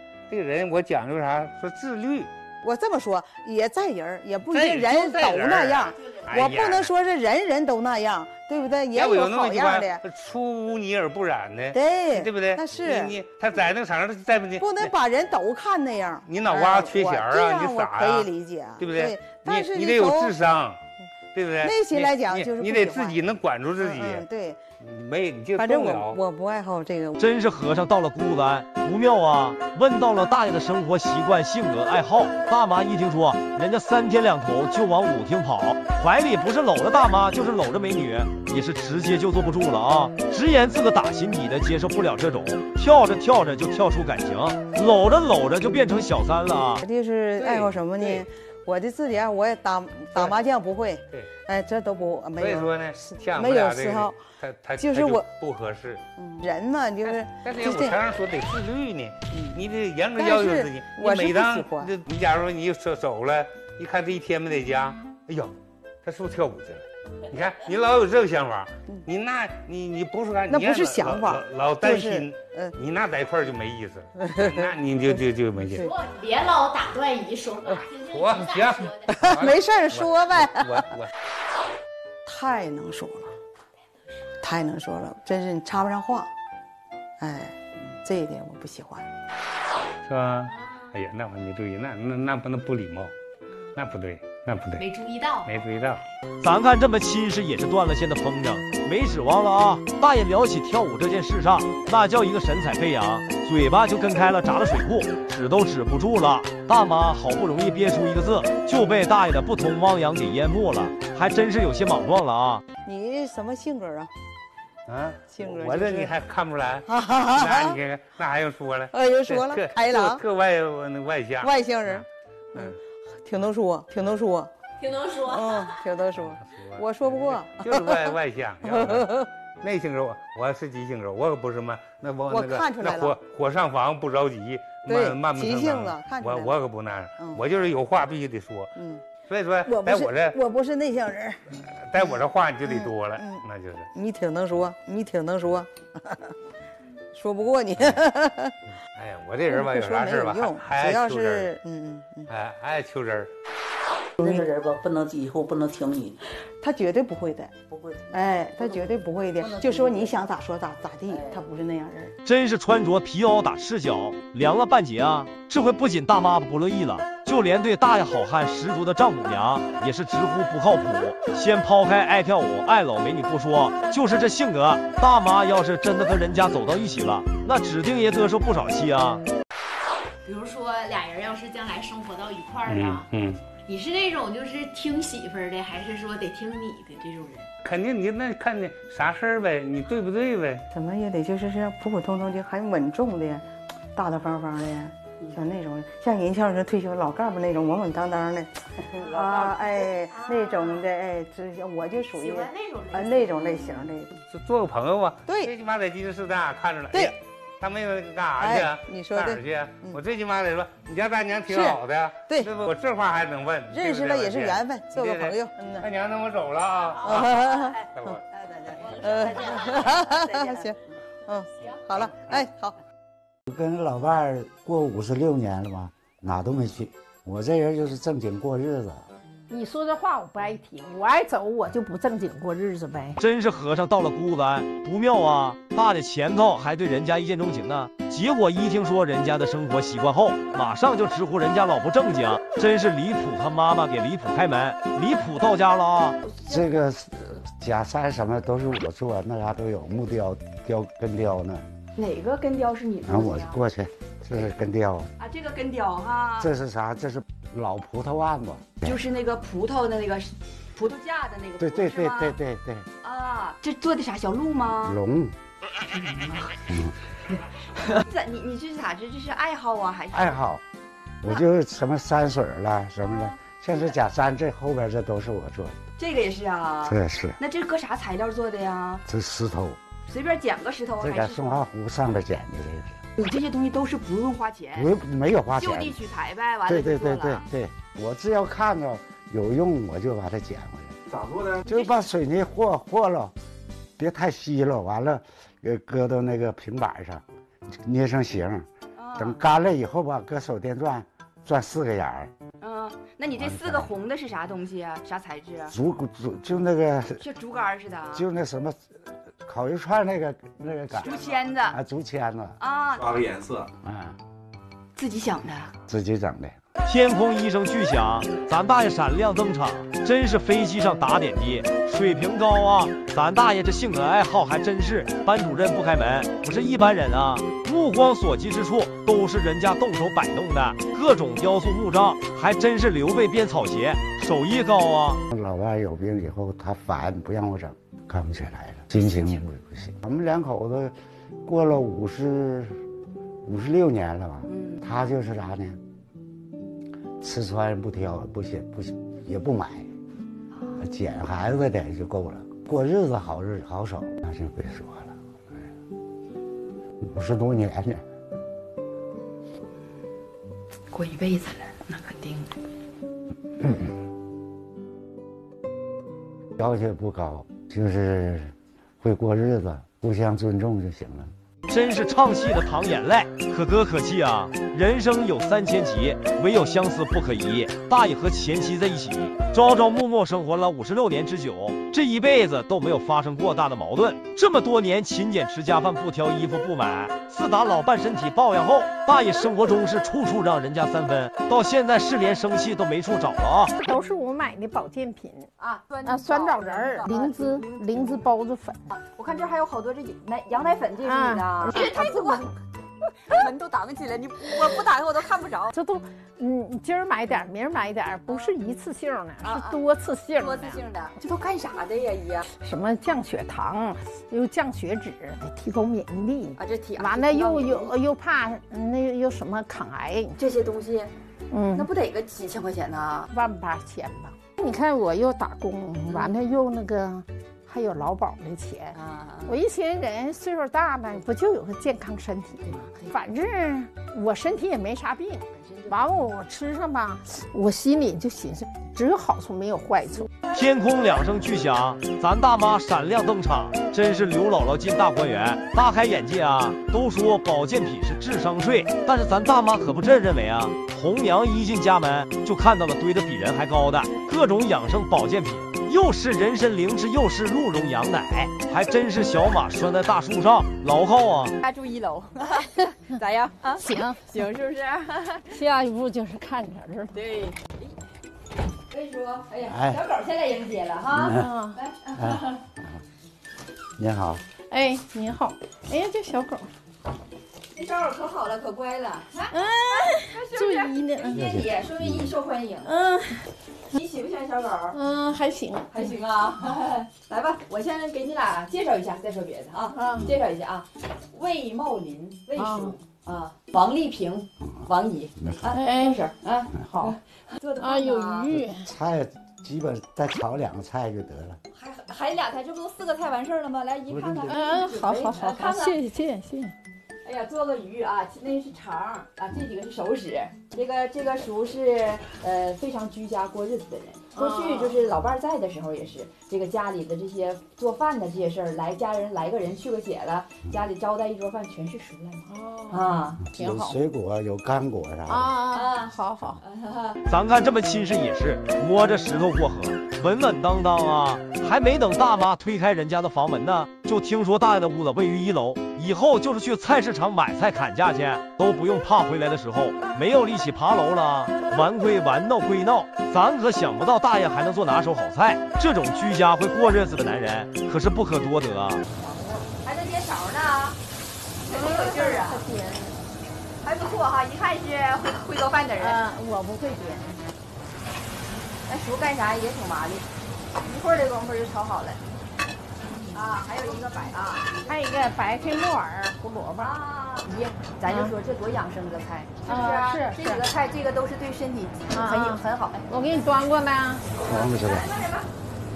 姨，来看看刚才叔说的这是有氧饭，看看啊。哎，我我得看看，哎呀，真是有大枣。啊，山药、萝卜啊，山药、山药，还有山药，还有枸杞、小地瓜，哎，枸杞，对，就是对身体好。你说总这么吃，这几样他有的时候不全放。今天可能是你来了，贵客来了，人家都放。谢谢了啊，姨，你不是对这方面比较注重吗？那是。你看这么生活的人，你是不是觉得挺好？能生活到一块是吧？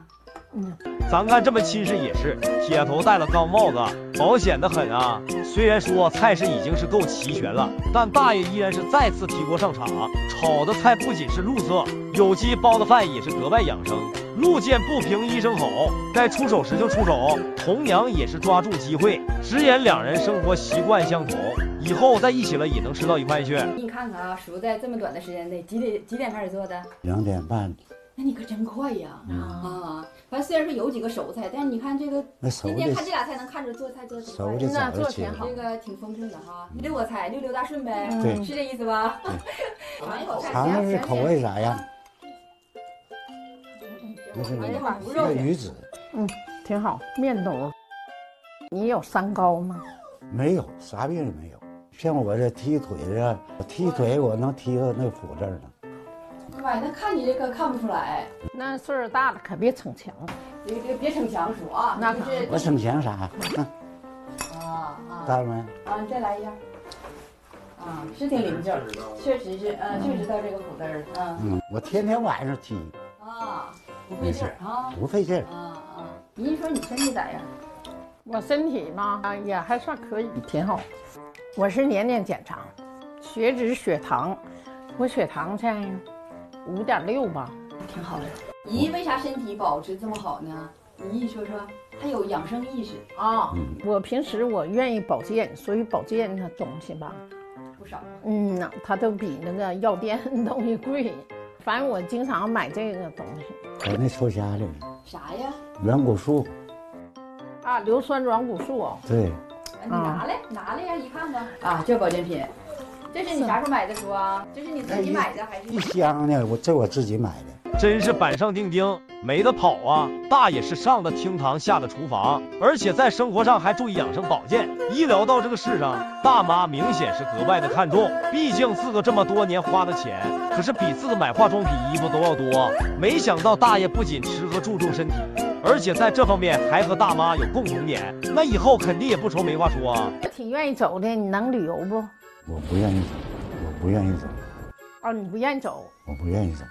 这一点就不行，我就是不愿意走，有有旅游啥的这我不愿意。我跟老伴儿过五十六年了嘛，哪都没去。我这人就是正经过日子。你说这话我不爱听，我爱走我就不正经过日子呗。不是别的，不是那个意思。你这话就是那个意思。说的意思是他哪儿也不愿意动。对对，我就是不愿意走。他就觉得我就顾家，就是顾这个家，啥也不想。对，我就顾这个家。你呢？你呢？总旅游说的。对，不是这个意思啊。我是咋的？这几年，嗯呐，俺家老头儿呃去世了，我一人没意思，我就跟这个跟那个唠嗑，完了就接触上这样朋友，他们都走，我就这么联系上的。嗯呐，引。你老走啊？我三年前走过，我这三年疫情跟没走一天没走。啊，我寻思老走呢。老走，一个你老走，身体确实也也疲劳。对，一年出去一次。对，一年就我说这长途的，也就去一次。偶尔的走溜达溜达倒行是。儿女早都支持我让我走，真是土地庙里填窟窿，不妙啊！大妈一说起自个喜欢旅游往外跑，大爷直接就不乐意了，也是胡同里赶猪，直来直去，直言表示不喜欢这样式的女人，表示人家不务实不正经。大妈哪能受着气啊？也是直接就把不乐意了，自个不就喜欢逛逛街旅旅游，咋还就被说老不正经了？的事。啊，我我看看你家厕所，我 啊，我因为我那个，我寻夏天啊，对我得看你能洗澡不？能，那肯定能啊。看到了，看到了，不用干净程度啊。我看那个有热，肯定能行。你看淋浴，我看有热水器了啊。有，现在放水都热的，还是方便呗，是不是？嗯，对，我我这得必须得洗澡。真是冷灰里爆出热栗子，意想不到啊！大妈饭都还没吃完呢，就直呼要检查检查人家的厕所。